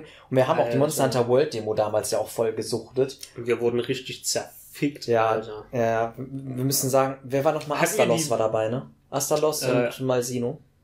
Ja, ich glaube Great Izuchi, äh, Astalos und Masino, ja. Genau, Astalos haben wir im First Try Ach, und hier äh, Schnabelman auch. Ja, ja, der ja, ja. Kappa-Dings. Ka- Der Kappa, ja. Wie ist der? Äh, Juratodon? Nein, ne? Nee. Quack, quack, quack, quack, quack. Keine Ahnung, Mann. quack, quack, quack. mein Er ist auch so ein sehr obskures Monster, das man selten macht. Ne? Irgendwas mit T oder sowas? Tetranodon. Tetanodon, ja. ja. Ja, siehst du, guck mal. Mein Gehirn funktioniert manchmal doch noch. Nee, aber wir haben halt die Demo gespielt, wir haben Astalos gefirst tried. Hatten irgendwie auch keine Probleme, ist aber cool gemacht in dem Game. Halt ein Ja. altes Monster, was Der war auch immer geil. Ist ja auch ja, ein Flagship. Ja. Aber Malsino, Alter. Man muss sagen, in der Demo habt ihr, glaube ich, nur, haben wir 10 Minuten oder 20 Minuten Zeit gehabt? 15 Minuten kann das Ich sein? glaube 15 oder 20. Ja, auf jeden Fall, das Time Limit war schon richtig beschränkt. Du konntest alle Waffeln, Waffeln, alle Waffen ausrüst, äh, auswählen, Mhm. aber die, die Klassen, die ihr da hattet mit den Waffen, waren gefixt und die Waffen sind echt nicht geil. Die Ja. sind wirklich nicht geil, die Waffen, die ihr in der Demo Und hat. die Rüstungen auch nicht. Man Ja. wird nämlich teilweise gewone-shottet. ja. Und wir haben es nicht geschafft, mal Sino in dem Time-Limit mit der Demo-Version zu killen. Wir haben echt äh, Einen zwei, Run, zwei drei Male haben wir richtig gut gekämpft. Ja. Haben dann auch echt in so eine Höhle reingeprügelt, haben jedes Rideable Monster auf der Map benutzt, um ihn nicht zu gereicht. damagen und zu knockdown der war und nicht ihn schwach. zu wichsen. Das hat nicht gereicht. Das ist echt hart. Und ich habe ihn auch gesolot dann versucht. Er war noch nicht mal low health. Ich weiß. Weil die haben ja ähm, so ein Icon, das eingeblendet wird, so ein blaues, äh, wenn die kurz vorm Ja, so ein Sterben sind. Das hatte ne? er nicht. Ja, also wir haben zum Verrecken, ums Verrecken nicht, haben es nicht geschafft, den zu legen, leider. Aber nichtsdestotrotz haben uns dennoch beide Day One das Spiel runtergeladen. Gibt es auch nur als Download-Code. Es gibt eine gebundelte Version, aber da ist das dann auch nur als Code dabei. Es gibt das leider nicht einzeln als, äh, als Cartridge. Das wird halt auch irgendwie aussterben. Es wird bald alles digital sein, Leute. Aber ja, wir haben es uns runtergeladen Ich muss aber auch sagen, ich persönlich hole mir auch schon irgendwie Games immer digital, weil ich einfach keinen Bock habe, die ganze Zeit Discs zu wechseln oder sowas. ja, das kann ich verstehen, aber ich hole mir das, also bei Xenoblade Chronicles 3 würde ich dir empfehlen, es auf, äh, auf, auf ich zu auch kaufen. tatsächlich, glaube ich. Weil Weil, ich das schon Spiel den auch ersten wieder- Teil auch auf, äh, mit Chip. Ja, und das Spiel raced auf jeden Fall im Wert. Äh, Komischerweise, Xenoblade-Spiele werden immer teurer. Der erste Teil nicht, also wahrscheinlich werden die nicht in so hoher Stückzahl produziert. Wobei ich schätze mal, dass der dritte Teil jetzt wahrscheinlich schon mehr produziert wird. also der zweite Teil ist richtig happig zu kaufen. Der, der geht, wenn du bei, bei denk Kleinanzeigen halt mal- Glück hast, 50 Euro. Ich denke mal, dass sie beim zweiten vorsichtig waren, weil, Ja. weil quasi X sich nicht viel ver verkauft hat, was aber der Wii U zu verschulden war. Und als sie jetzt gesehen haben, was für ein krasser Erfolg der zweite war, werden sie wahrscheinlich den dritten in höherer Stückzahl produzieren. Und man muss auch sagen, der Smash DLC, Pyra und Mythra als Charakter hat auch nochmal den zweiten Mhm. Teil extrem angekurbelt. Dadurch ist auch der Preis nochmal erhöht gewesen. Weil Ja, viele Leute das. Spiel dann spielen wollten wegen dem Charakter. Ist krank, ne? Wie Marketing heutzutage funktioniert, sogar für alte Spiele. Wie, wie, wie Marketing mit Waifus funktioniert. ja, das ist einfach nur ein paar Brüste, ne? Boobies. Welche Waifu findest du besser? Ich finde Pyra ein bisschen hotter als Mythra, muss ich sagen, obwohl ich eher Blond-Fan bin. Echt? Ja. Wegen den Eutern?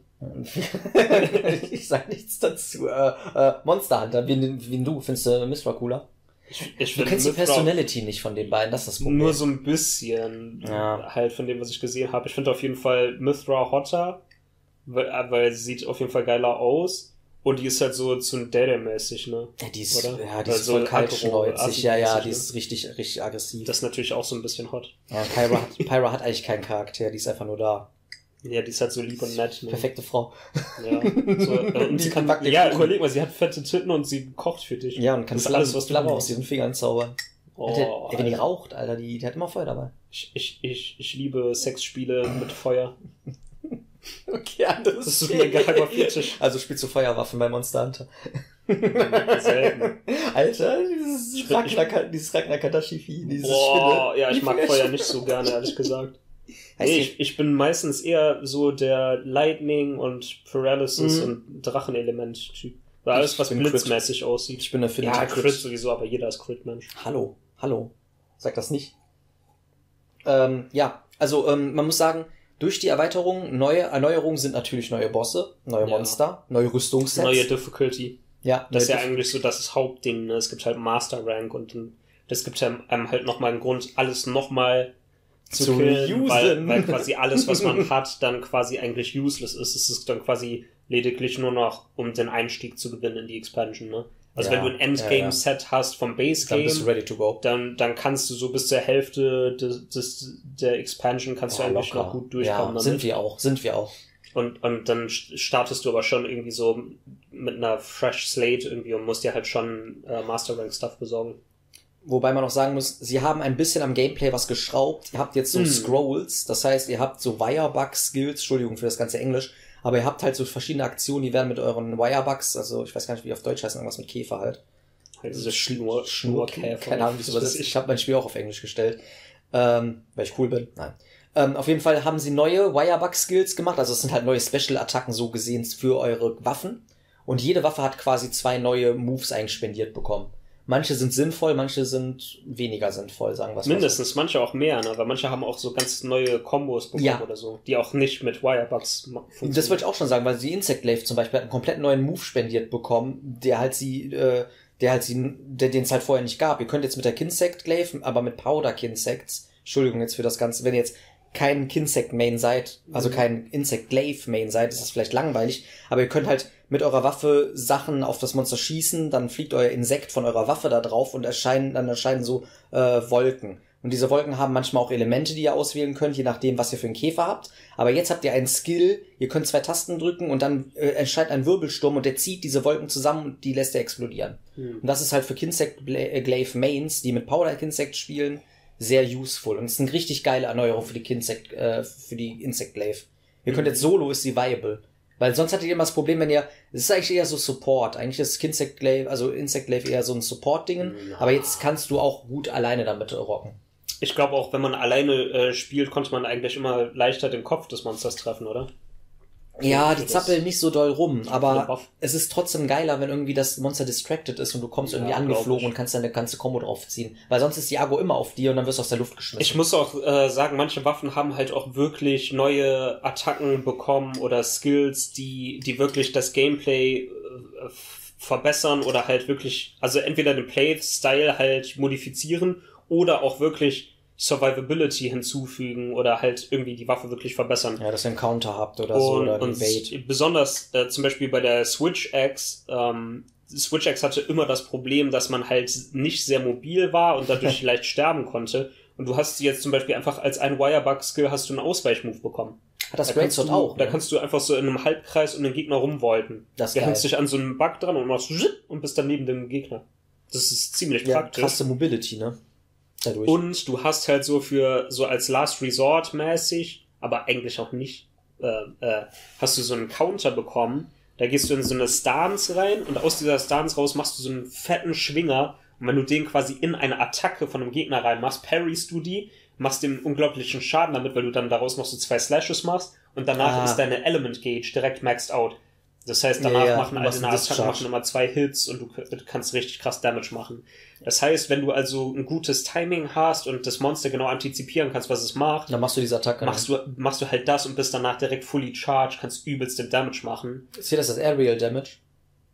Also macht das Mountain hoch. Das ist blaue Zahl. Äh, äh, die, nur der Konter selbst. Okay. Also du kriegst dann nicht irgendwie einen Buff, dass du die ganze Zeit den, diesen Damage machst, aber ähm, also du ja, kannst das es, ist du kannst halt, es abusen, auch dass du es riden kannst, das Monster. Ja, Also er zählt als Aerial. ja, ja, was heißt als Area? Als Wirebug Attack halt. Ja, aber aus der Luft.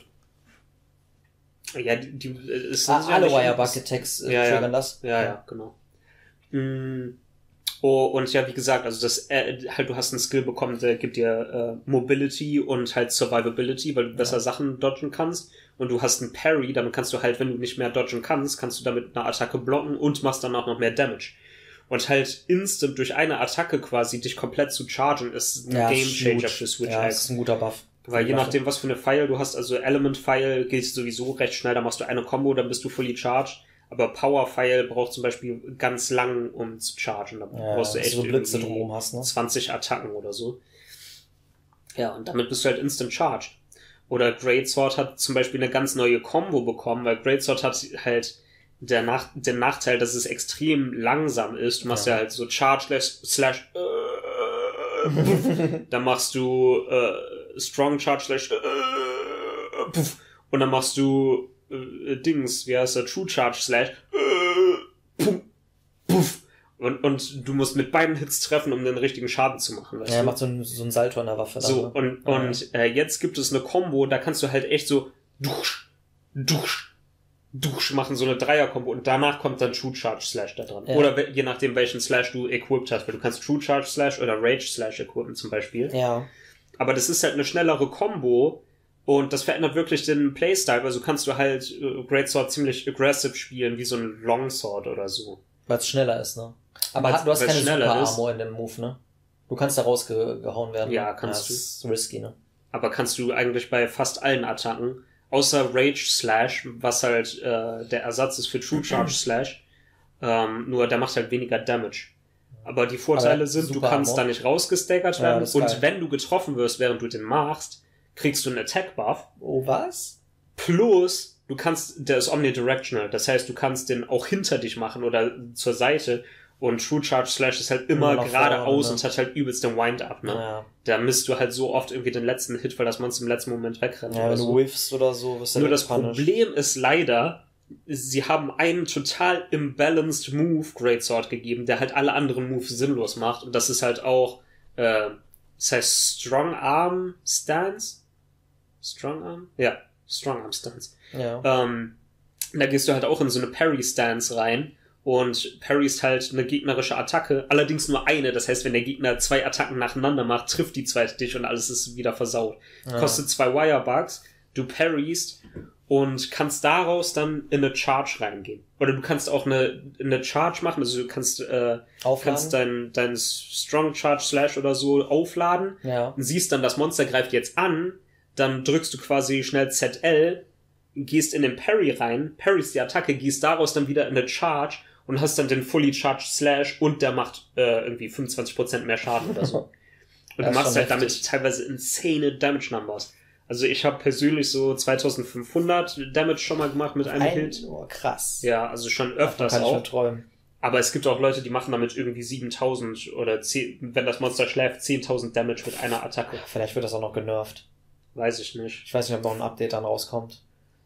Äh, jedenfalls, und das Problem ist halt, damit du da den maximalen Damage rausholst, musst du quasi das equippen plus True Charge Slash, weil Rage Slash macht halt viel weniger Damage. Ja, ja. Und halt, damit das so funktioniert, musst du halt auch die normale Charge Slash Combo benutzen. Das heißt, du kannst diese schnelle Combo, die dein Playstyle eigentlich anders macht und die Waffe vielleicht attraktiver macht für andere Leute, kannst du dann auch nicht benutzen, wenn du ja den weil das andere, machen das andere stärker ist. Ne? aber man, dazu muss man sagen, man muss auch nicht unbedingt den optimalen Bild und optimalen Damage machen. Man kommt auch gut durch, wenn man einfach seinen Playstyle so anpasst, wie er einem halt am meisten Spaß macht. Ne? Ja, so sollte es auch sein. Also man ist ja jetzt nicht irgendwie ein Speedrunner oder so und will dann einfach das ekelhafteste spielen, was geht und so schnell wie möglich. Ich habe auch noch ein bisschen gelogen. Auch die Insect Glaive hat noch neue Aerials bekommen.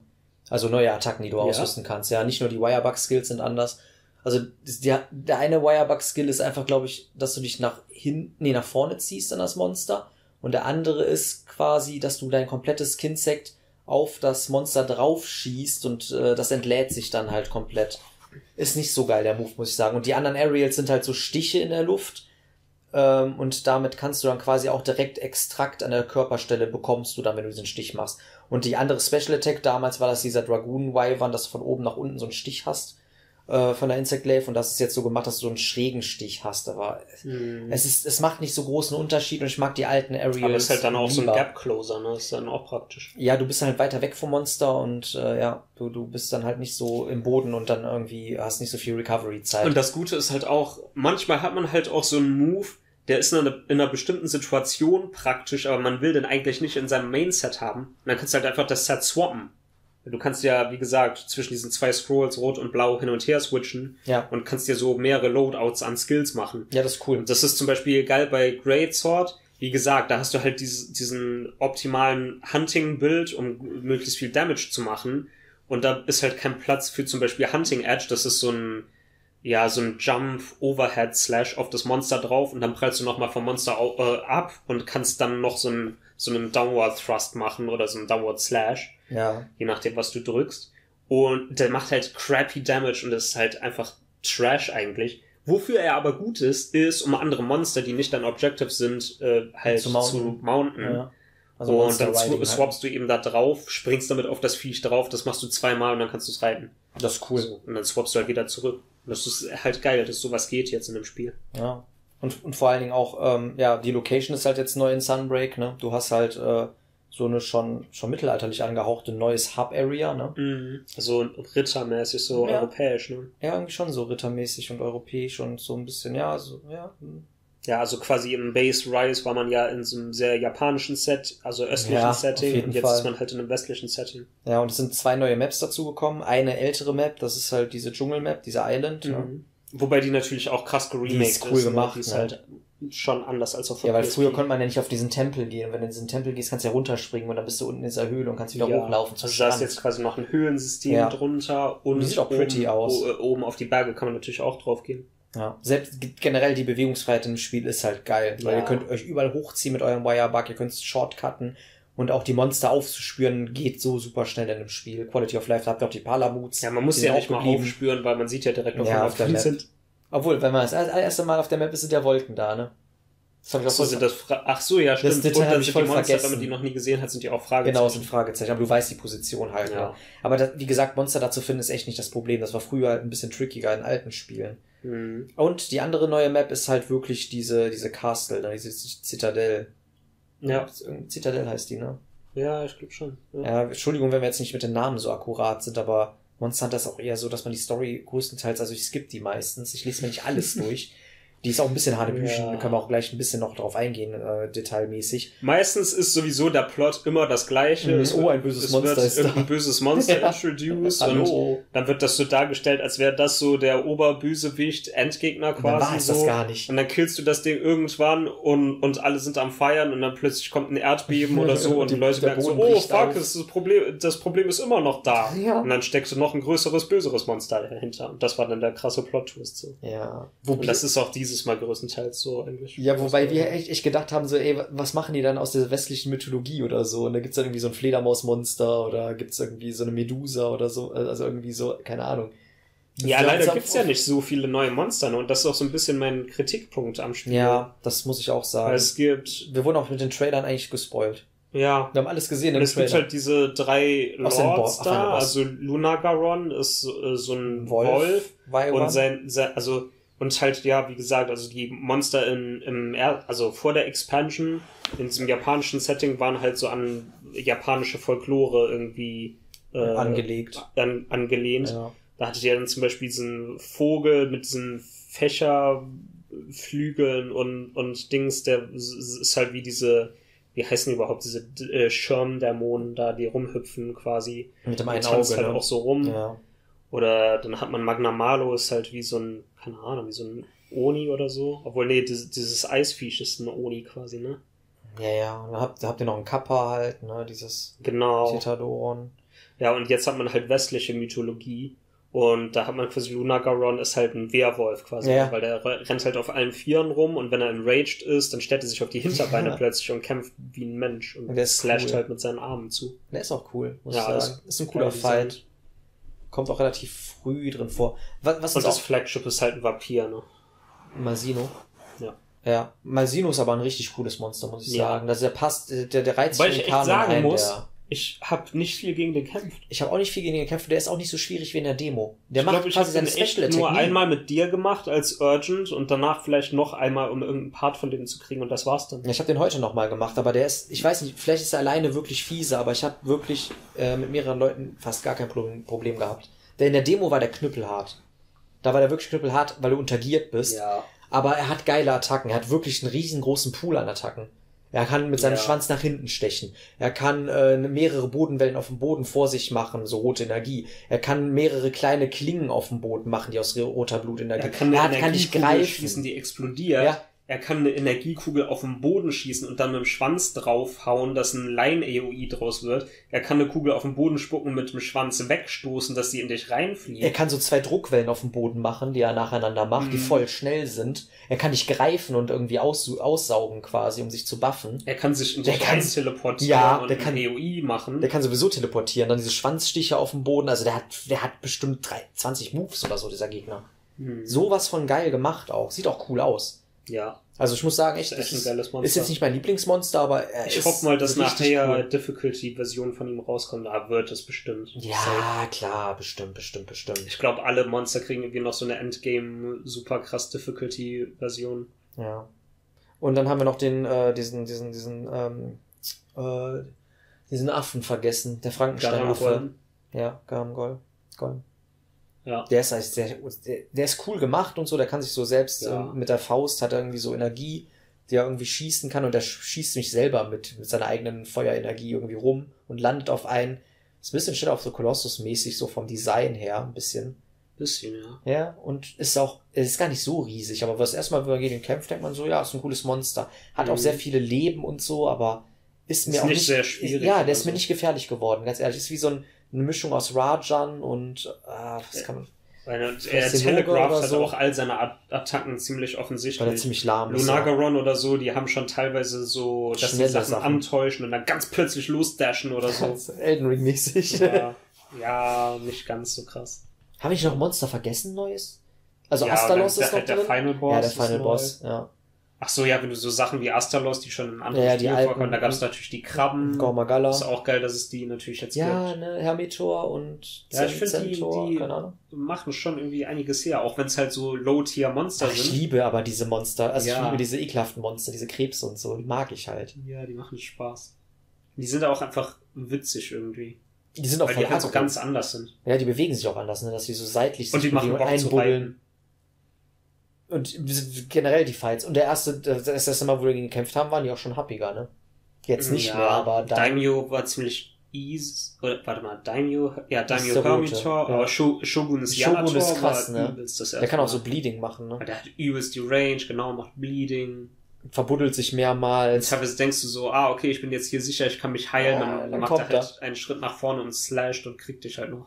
Ja, der hat auch eine übelste Reichweite. Der kann seine. Klauen so ganz nach außen halten und dann klappt der so zu. Ja, dann Und das heißt so ma- Alter, ich krieg perfide. übelst Schiss, wenn der so auf mich zukommt Ja. mit den Klauen so auseinander. Dann kann er noch Wasser spucken, sich einbuddeln. Das ist ja, ein cooles und Monster. was halt auch cool ist, die haben ja quasi ein Haus auf dem Rücken. ja. Also halt wie so Einsiedlerkrebse. Oh, und halt je nachdem, was das ist, hat das halt verschiedene. ja, genau. Also Dings hat so ein, ich glaube, Monoblast-Kopf. Dann kann er einfach in dich reinrammen. Und dann, aber wenn du den kaputt machst, dann kann er auch zum Beispiel einen, äh, hier, wie heißt der, Basarios-Kopf haben. Stimmt. Mit dem kann er dann halt Wasser spucken. Das ist so krank, ne? Das ist ein geiles Monster, ist kreativ. Ja. Vor allem, wie alt das auch ist, ne? ja, ja. Zweite Gen, ne? Ja. Das ist echt eins der, der Urmonster, so so gesehen. Ah, dann haben sie ja noch äh, Espinas reingebracht. Ja. Ja, komischen Ich muss echt sagen, ich habe irgendwie Bock, nochmal gegen den zu kämpfen. Wobei ich den jetzt nicht so spaßig fand. Ich finde ja, ich finde das Konzept von dem jetzt auch nicht so unique, ne? Der Ja, kann, der ist halt das ist wie eine extrem. Rathian, die grounded ist. Ja, das, ja, und Rathian ist ja schon sehr grounded. Ja, ja, mittlerweile. Er ist quasi Früher einfach nicht. nur wie eine Rathian, die noch gepanzerter ist, noch mehr Gift hat, dann Ja. gleichzeitig paralysieren, ja. anstecken und, so und ekelhaft. vergiften gleichzeitig kann. Ja. Und dann noch auf dich draufjumpt, wenn du paralysiert. Ey, ohne Scheiß, wenn der einen paralysiert, der ist so tot. gescriptet, dass der immer direkt zu dir Ja, ja. und auf dich draufjumpt. Das ist ein richtiger Bastard, der Gegner. Aber wie gesagt, ja, haut mich nicht vom Hocker, das Monster. Und ist auch ein Nee, älteres. Ist auch so Das ist ja von Frontier. Ja, Frontier Deshalb das, ist es ne? auch, also äh, ich glaube, alle Monster aus diesem Spiel, aus diesem Spiel sind sehr weird. aber äh, vergessen wir nicht noch irgendwas? Es gibt echt nur den Werwolf, den Vampirdrachen Also und den wirklich, Affen und den Final Boss. neuen, ja, ich glaube nur die. Das ist wenig, ne? Dann gibt's halt jetzt noch Furious Raja. Ja, gut, aber es ist für mich kein neues Monster. Nee. Das ist halt ein neues Moveset, ne? Aber trotzdem. Dann gibt's äh, diesen äh, Fire Bishatan. Ah, wir haben noch Basarius vergessen, ne? Basarius gab's schon. Nee, den haben wir aber vergessen aufzulisten. Den gab's aber nicht im Base Game. Doch. Was? Wirklich? Nein, schon. Basarius gab's nicht im Base Game. Nein? Auf keinsten, nein. Mein schon. Das ist auch dieser Wyvern, ne? So ein brauner. Ja, dieser richtig fette, Der fette so Wyvern, so der ist voll aggro. und so. Ah, nicht, ich meine nicht Basarius. Wie heißt das Vieh? Basarius ist ja das auf dem Boden. Ah, ne? Seregios. Seregios. Ja. ja das klingt sehr Stimmt. ähnlich, muss ich sagen. Ja, Seregios, gibt's, gab's genau. Dann, wie gesagt, Wyvern, ne? Firebücherten, dann gibt's diese Explosionsspinne. Ach ja, stimmt, es gibt diese Variante der Unterklassen. Ja, ja, ja, ja, ja. Ja, ja, ja, ja. Ja, aber das ist halt auch wieder so. Ja, es ist- genau, dann gibt's äh, von diesem Sirenen-Ding gibt's eine Eisversion. Stimmt, dann müsste Einschläferman, Small, Ja. Small, Small, Small, Small, keine Ahnung, wie es heißt. So manch, so Und dann gibt's eine Lava-Version von Almudron. Stimmt. Ja gut, wenn man die alle zählt, gibt's natürlich schon viele Ja, aber es sind, Monster, aber es halt, sind aber keine halt, krass ja, neuen. Es sind einfach nur neue Movesets und die haben halt Feuer. Ja, genau. Also, ich will nicht undankbar erscheinen. Ich weiß auch, Ja, dass die da viel Arbeit drin steckt. irgendwie einen neuen Move oder so Ja. und haben halt ein anderes Element. So. Ja. Das ist nicht so eine krasse Veränderung vom Gameplay wirklich. Aber das ist uns auch aufgefallen, als wir es gespielt haben, dass sehr viel reused ist aus Ja. dem alten Spiel. Also, es dauert ein bisschen länger, bis halt Ja, man was Neues Und das ist, das war für mich echt so das Problem, So besonders am. Anfang, weil man am Anfang sehr viele Monster refighten muss, die man schon kennt, bevor irgendwie die Action losgeht. ja, ja, ja. Und ich finde, wenn man so eine Expansion macht, muss man eigentlich direkt am Anfang richtig Schon ein neues Monster reinstreuen. coolem Neuen. Ja, der Hermitor war ja das erste neue quasi sozusagen. Ja. Was eigentlich alt ist, ne? Ja, Aber jetzt irgendwie so an neuen, so Elder Dragons oder Endgame Challenges so wirklich gibt's nichts, wo, wobei es natürlich ein ganz neues das neue Endgame Endgame-System gibt. Ja, da können wir, auch, können wir auch jetzt direkt drüber reden. Ne? Ja, also, also es gibt halt diese Ano Anomalien quasi, dass der, der Final Boss hat ja auch diese komischen Fledermausartigen Vögel an sich dran. ja, die auch um Malsino die ganze Zeit rumfliegen. Genau, und die extrahieren irgendwie das Leben von, von, von Monstern und machen die auch irgendwie extrem aggressiv. Und später habt ihr halt so, dass fast jedes Monster, was ihr schon kennt, auch so eine Version hat, dass sie halt dieses davon äh, befallen wurde. Mhm. Und die Kämpfe sind ein bisschen trickiger, ne? Die haben dann halt wirklich äh, so eine rote Aura um sich rum, die seht ihr auch im Level. Wenn ihr seht auch, dass das Monster irgendwo ist und könnt auch die Spuren verfolgen, weil in, in der Luft diese roten Partikel rumfliegen. Mhm. Ähnlich so wie Phasen damals bei Metroid Prime. Nur halt in blau und rot, ja.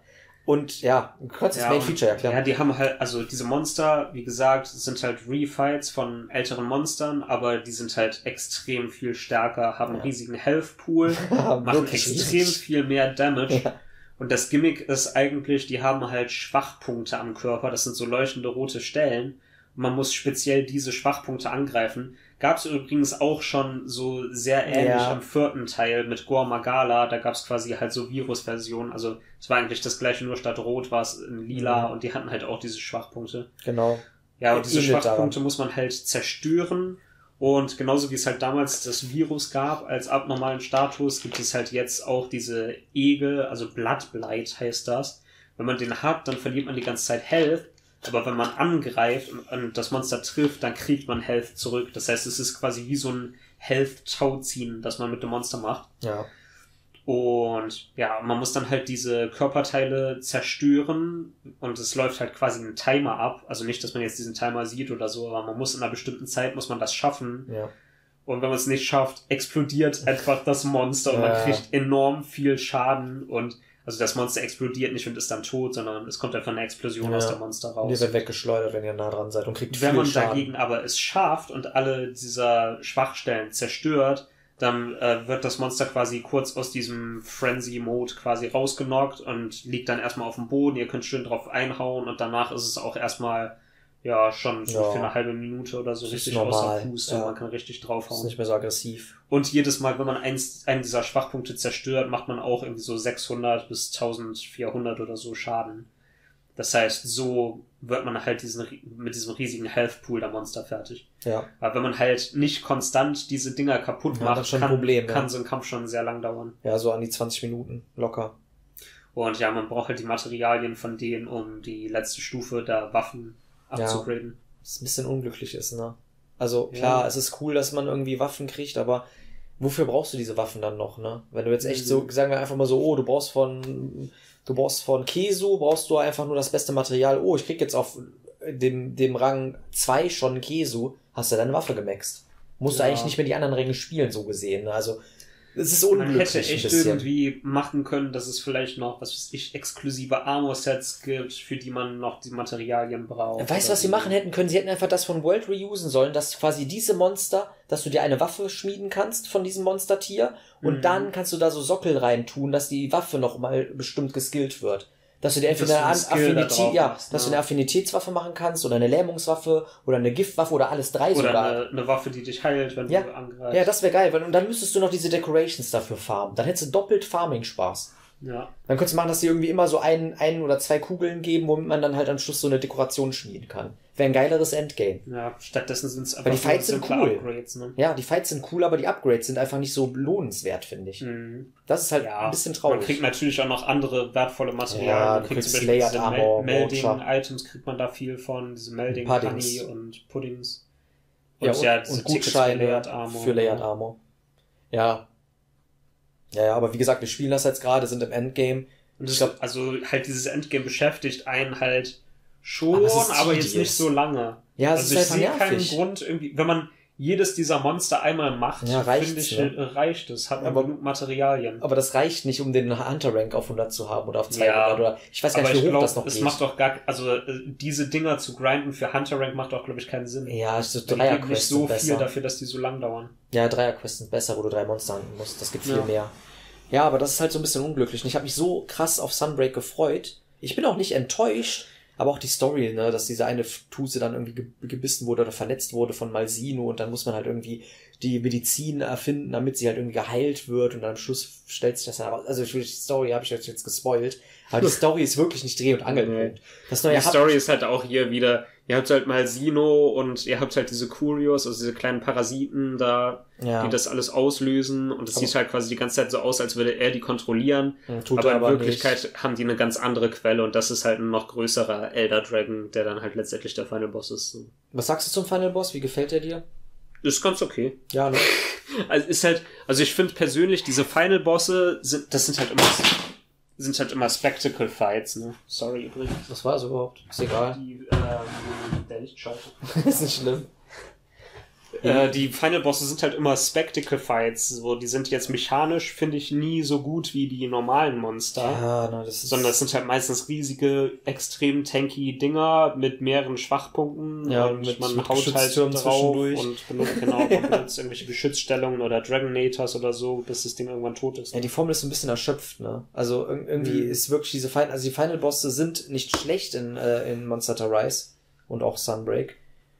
Aber ja, wie, wie Greedo es sagt, das sind große Bullet Sponges. Wir haben den auch gefirst tried, ne? Das erste Mal. Ja, Also wir hatten jetzt auch nicht großartig Problem, aber Noobs, also was heißt Noobs, aber Randoms im, äh, kacken schon oft bei dem ab. ja. Der kann ich. eine so eine Supernova-Attacke, wo der irgendwie ja, die runterkommt. Haben wir auch am Anfang gar nicht geblickt, was aber da wir, passiert. Ja, wir haben es überlebt. Aber diese Attacken sind auch ein bisschen lazy, ne? Das machen ja auch äh, hier Nava und so, dass sie auf einmal irgendwie in der Ja. Mitte sich sammeln und auf einmal kommen Stacheln überall her und Explosionen. Ja, so, aber es ist halt auch einfach so Spectacle, ne? ja, was ist. Du brauchst halt Lazy. riesige, fette Supernova irgendwie, damit es voll krass aussieht und du denkst, oh mein Gott, jetzt sterbe ich. Okay, aber das ist mir auch lieber, anstatt irgendwie ein großes Monster mit Kanonen die ganze Zeit zu beschießen oder so. Boah. Also das Ja. fand, fand ich früher auch immer richtig nervig bei Monster, diese, diese Elder Dragons, die Wobei ich fand Jin mit so- Moran schon irgendwie geil. Jim Moran hatte noch was, ja. Zu meinen auf jeden Fall. Aber lustig. ja, irgendwie hier so, ähm, wie heißt der, Shang My World, Gaoren ne? oder Ja. Lao, Lao Shanlung auf. oder so, die waren so fucking langweilig. Ja, das war Lao Shanlung ist wirklich das schlechteste Monster. ey. Der geht einfach die ganze so Zeit nur ne? geradeaus, der macht nichts. Ja, ja. Aber Der du läuft einfach halt. nur und der killt dich einfach durch seine Anwesenheit. Ja. Den haben Oder wir, glaube ich, nie geschafft auf der PSP, ne? Hey, der hatte so viel Health. Mann. Ich habe aber auch mal gesehen, es gibt in Monster Hunter so ein infiziertes Monster, das so voll viele Sachen in sich drin stecken hat oder so, so ein Drache und der irgendwie so ausläuft. Der sah cool aus. Der, das Ding ist auch übelst hart. Ja. Den gibt's auch übrigens in Generations. Ja, Aber der ist original aus äh, 4 Ultimate. ich, ich kann Generations, glaube ich, nicht mehr spielen. Ich glaube, Äh, diese alte Struktur. Gok Masios heißt der. Gok Masius. Ja, der war aber geil. ja, das ist quasi ein Elder Dragon, der sich von Schießpulver ernährt. Ja, genau. Und ist deshalb greift er irgendwelche Stützpunkte halt von den Huntern ist so an und, und frisst halt deren Weaponry auf, um, um und deshalb hat er halt auch einen Dragonator in sich drin stecken. Genau, ja. Und der, der kann zum Beispiel einfach so, der hinterlässt halt so schwarze Pfützen dann auf dem Boden. Und äh, dann kann der halt auch so Laser da reinschießen, um die halt in die Luft zu jagen. das ist voll geil. ja, das Monster Das ist, ist voll auch edgy. geil. Das ist, also ist halt auch so ein fetter Elder Dragon Fight, aber ist schon mal was anderes, weil er auch sehr mobil und schnell ist. Ja, ich habe ich hab das mal gesehen in so einem Discuss-Video halt, hat jemand drüber den geredet, dass das schade ist, dass der nicht nochmal reinkommt in das Spiel. Tut er bestimmt irgendwann. Ja. Und wie gesagt, Capcom hat auch noch announced, dass weitere kleinere äh, Monster noch, also oder größere Monster noch released Mhm. werden. Ja, eine Subspecies von Dings, ne, Na- Nagakuga kommt raus. Irgendwas mit Moon. Bla bla ja, bla, Moon. Nagakuga. Genau. Gab's auch früher schon mal. Ach, den gab's schon? Ist Der ist halt unsichtbar. Also der kann sich Ka tarnen. Camelos quasi als Nagakuga. Ja. Wer kennt's nicht? Es gab ja auch diese Eule aus dem, aus, Ah, die der war cool. Generations? Nein, der war aus Ja, dem DS-Teil, ne? Ja, Ja. aus dem DS-Teil. Genau, da kannst du dich ja auch unsichtbar machen, die Subspecies von dem. Und leider, leider wurde auch der beste Mode Und- wegrationalisiert, weil es gibt kein Rampage mehr, Alter. Ich bin so traurig. Oh, ich will Monster ja, Hunter. Tower Defense spielen, Ja. nicht. Also ich es meine, war wer, Sarkasmus. wer will schon selbst gegen Monster kämpfen, wenn du einfach Ja. irgendwelche Villagers haben kannst, die drauf schießen.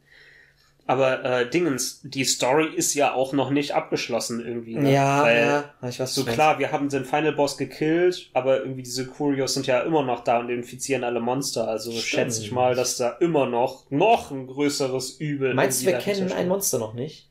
Das wäre Ja. geil, ne? Ja, bist Ja, sicher. klar. Bist sicher. Aber es war ja auch im Base Game, war es ja auch so, dass der richtige Final Boss erst später dazu kam, Ah, wo man Itsushi gegen, und- gegen genau Nawa und, und Ibushi gleichzeitig Ibushi, ja. kämpft. Ne? Ja. Ah, also vielleicht, ja gut, dann muss ich eigentlich mein Maul halten und in meinem Monster Hunter Run 100 äh, grinden oder 300 oder ich weiß Ja, nicht. aber wo. nee, aber noch, also das wird dann halt später Ach hinzugefügt. so, das kommt jetzt noch nicht. Ah, ja, das ist, das ist spitzfingerig. Ja, Das Einzige, was wir wissen, ist halt, es kommen, kommt Seething Basil Gs oder Und- Basil Goose ja, und- oder wie auch immer man ausspricht und Lucent Nagakuga. Ja, die kommen. Aber da steht several new monsters. Also es kommen auf jeden Fall noch mehr in Ja. dem Update jetzt im August. Und dann sind noch mehrere Updates für danach halt angekündigt. Also es kommen auf jeden Fall noch. Ich denke, es kommen auch noch irgendwie, ich wette Die müssen sowas diesen wie, Eishai bringen, Alter. ja, Die ne? müssen die rein, es aber das die ist, ich glaube, das ist nichts, was die in einem Title-Update hinzufügen würden, weil Das es ist zu zu viel Arbeit. Mid-Game-mäßig ist, Also weißt das du? meinst du? Ja, Ja, das das ist zu schwach quasi. Vielleicht machen die den stärker. könnten sie Das wäre machen. geil. Weil ich glaube, sie adden eher so Elder Dragons und so. Ich wette, die äh, adden wieder Fatalis, äh, Was war nochmal, was war nochmal Fatales? Ich weiß gar nicht, ob du Fatalis jemals gemacht hast. Das ist nicht. der äh, Online-Final-Boss vom allerersten Monster Nee, habe ich nicht. hab Das ist einfach nur ein ganz normaler Drache, ein schwarzer Drache. Der sieht einfach aus wie ein Fantasy-Drache. nicht. Okay. Und Also, du ja. kämpfst gegen den. du haust einfach. Doch, wir haben, ich glaube, wir haben bei Generations mal gegen irgendeine Art von Fatalis gekämpft. Crimson sein. Fatalis oder sein. normale Fatalis. Ja, der ist auch sehr unspektakulär, aber der zeichnet sich halt einfach dadurch aus, dass es ein Der- Fantasy-Drache ist. der kein, quasi. Kein normales, so naturelles Monster. Stimmt, vielleicht bringen die auch irgendwie Golden Rathalos wieder oder Blue Rathalos Ja. oder Gold Rathian oder was weiß ich was. Das sind halt so typische Sachen, die man da erwarten kann. Was haben, was haben sie? Guck mal, sie haben ja auch äh, zum Beispiel im Base Game gab's ja anfangs gar nicht Theostra und äh, Chameleos Und und, Kushala die kamen ja mit dem Update dazu. Genauso Ja. wie Valstrux.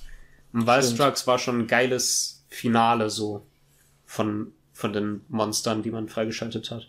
Und ich Ach, schätze ja, mal, ja, dass das- uns sowas halt auch noch erwartet. Ja. Aber für, ey, eigentlich dauert. müsste man. Das müsste jetzt schon da sein. Ja, ja, aber das wird es dann erst in drei Monaten oder so geben. Ja. Eigentlich müssten wir echt so knallhart sein und jetzt das Spiel weglegen und warten, bis alle Title-Updates raus sind und Ah. die erst dann machen. Ah, Weil ich finde immer, weiß. wenn so ein Ja, Title-Update ist rauskommt, hast du ein neues Monster, das du machen kannst und das spammst du dann halt einen Tag und dann brauchst du es halt nie wieder so. Ich weiß, ja, das, das ist halt so, das, da sollten sie lieber wieder eine größere Expansion machen und das alles dann wieder da rein releasen. Ja. Dieses häppchenweise anfüttern ist nett, dass sie ja, das tun. das ist cool. Aber es bringt nichts. Aber ich finde, Monster Hunter profitiert davon überhaupt nicht.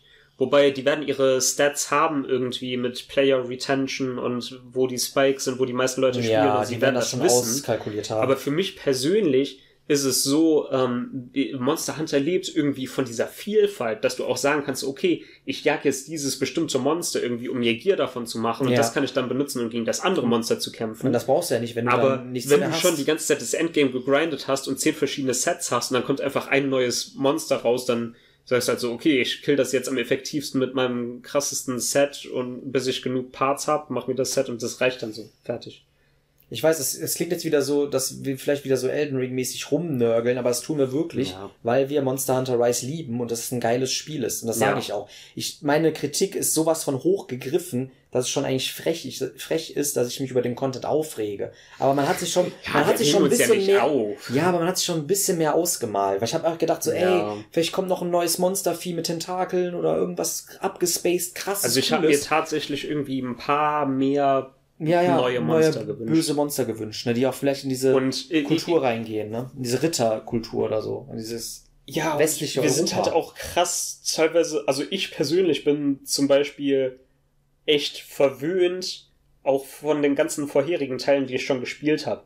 Weil wenn du zum Beispiel. Monster Hunter 4 gespielt hast und dann kam 4 Ultimate raus, das hatte halt echt so krass viele neue Monster. Oder noch schlimmer, Generations. Und wenn du dann Generations Ultimate spielst, das ja, hat dann bist du total das hat fucking fast jedes Monster aus der kompletten Serie drin. Ja, das, Das hat, hat wirklich fast alle. ich wünsche mir so ein Das Monster hat, Hunter glaube ich, Ultimate. über 100 Bossmonster. Ja, so ein Monster Hunter Ultimate war geil, mit, mit einer krassen, mit vielleicht noch einer neuen Engine oder so, aber mit so einem Wind-Up von allen Monstern, die es gab. Das Mhm. ist ja so geil. Aber, Aber in der Engine Arbeit. von World dann noch. Also auch mit der Grafik. und so. Junge, das war unbezahlbar.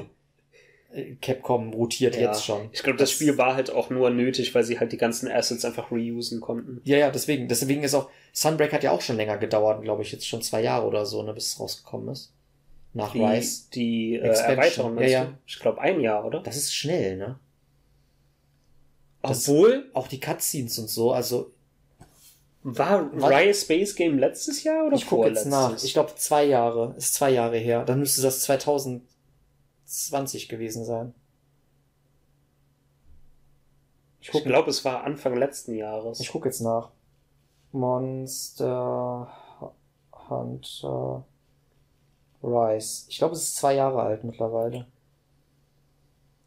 Äh, Monster Hunter Rise, äh, 92%, 26. 2021. Hast du recht. Ja. Das ist erst ein Jahr alt. Das ist krass. Das, dann ist das in einem Jahr ist der DLC gekommen. Das ist sehr gerusht, finde ich. War aber bei World auch, glaube ich, ein Jahr. Ja, ja, aber guck mal. Aber irgendwie, Das- irgendwas ich weiß auch nicht komisch. warum, aber I, äh, Iceborne fühlte sich für mich Mehr. an. Ja, es war mehr. Aber vielleicht auch, weil alles irgendwie da so länger gedauert hat. ja, weil und du musstest da auch teilweise irgendwie, ich weiß nicht, musste man da auch irgendwelche Spuren sammeln wie, und viel, wie sowas? viele Monster hatte denn Iceborne neu? Du hattest, du hattest diesen komischen, diesen An Anfangsboss, diese, das in, in dem Diesen Schnee Fisch. diesen dann, Fisch, hat, dann dann hast du du Mammut, diesen, genau, dann hattest du d- das Velkana. Flagship, Velkana hattest, dann, dann Bar Barrios war neu. ja. Barrios war neu, dann hat's noch äh, hier natürlich Shara Ishwalda. Ja, und dann hattest du so ein paar Subspecies, ne? war auch nicht so viel, ne? Und es, und es gab nur eine neue Map. ja, aber die war. Ah, gut, ja, aber es kannst ja. Die Maps, für mich ist auch Dreh- und Angelpunkt sind nicht die Maps. Überleg mal, wie wenig wir auf dieser Citadel-Map gespielt haben. Wir haben so viele alte Maps. Ich muss aber auch sagen, ich finde die irgendwie nicht so toll. Die ich finde die schon irgendwie cool, weil manche Ja, Abschnitte bisschen haben so groß. Gimmicks, weil es gibt zum Beispiel diesen Giftbaum oder dieses Harz, wo man halt die Monster reinlocken kann. Hast du da mal explored? Hast du mal Exp äh, Exp Expedition gemacht? Mm, Bis kleines Du bisschen. kannst in so ja. einen Brunnen reingehen und dann ist in, unter der Erde im Brunnen ist noch ein Loch und da kannst du noch weiter gehen. Dann kommst du an so eine Küste und da kannst du dich hinstellen. Das sieht voll schön aus. Echt? Ja, muss man machen. Sorry, dass ich dir gespoilt habe. Ja, man kann auch äh, irgendwie bei so einer Brücke kann man auch runterspringen und dann ist unten so, eine Schatztruhe. Ja, so. ja, das gibt's voll oft. Es gibt auch voll die Höhlen und so. Es gibt eine richtige Crystal Cave, Alter. Also die, die Map ist. Okay, ist vielleicht tue ich der. Map äh, Unrecht. Tust du, ja. Aber ich finde, wenn man einfach nur da rumrennt und gegen Monster kämpft, so viele Parts von der Map sind halt so sehr samey irgendwie. Ja gut, aber dann könntest du es an, an Absorbum äh, führen und könntest Ja, sagen, man könnte doch einfach nur, ja, könnte man nur graue Korridore haben. Ist ja egal, wo man kämpft. Weißt du, was ich meine? das ist einfach Ja. eine graue, eine graue Matschtextur, baust du Aber zwei dennoch, Felsen und das find, war's. dennoch finde ich, dass quasi das Terrain auf der Map nicht so krass variiert wie zum Beispiel bei der Desert Map oder so. aber die Desert ist auch ätzend. Ich, ich glaube, die nee, ich mag die. Das Ich mag die zackt nur, wenn man da irgendwo runterfällt. Ja, wenn du irgendwo runterfällst und du musst dann ewig wieder nach oben klettern, das ist nicht geil Design. Die ist schön, die sieht gut aus, aber so von den Wegen her ist die ganz komisch Design. Auch am Anfang, dass man gerade ausgeht und links ist direkt so eine fette Schlucht und so. Ja, aber es macht Bock, da mit dem Wirebugs drüber zu jumpen. Aber guck dir die Desert von World an, die ist viel besser. Und die hat nicht Ja. so viel Vertikalität, Das glaube die ich ist mit, geiler. mit einer meiner Lieblingsmaps. Muss ich auch sagen. Ein bisschen flacher kann es schon sein, finde ich, bei Monster Hunter. Das muss nicht alles so Mhm. deep down gehen. Das Geile war halt auch, du hattest da irgendwie diese Dünen, die du runtersurfen Ja. konntest und dann da so Jump-Attacks draus machen und so. Dann hattest Dann du diese Wasserloch. Pillars da, an denen du hochrennen und davon Upwall jumpen Die war konntest. so kreativ, ja. dann äh, ko konnte irgendwie Diablos konnte ja aus dem Boden kommen, konnte so ein Loch in den Boden Ja, ja, reißen, womit du dann runter ne? in die Höhle gehen konntest.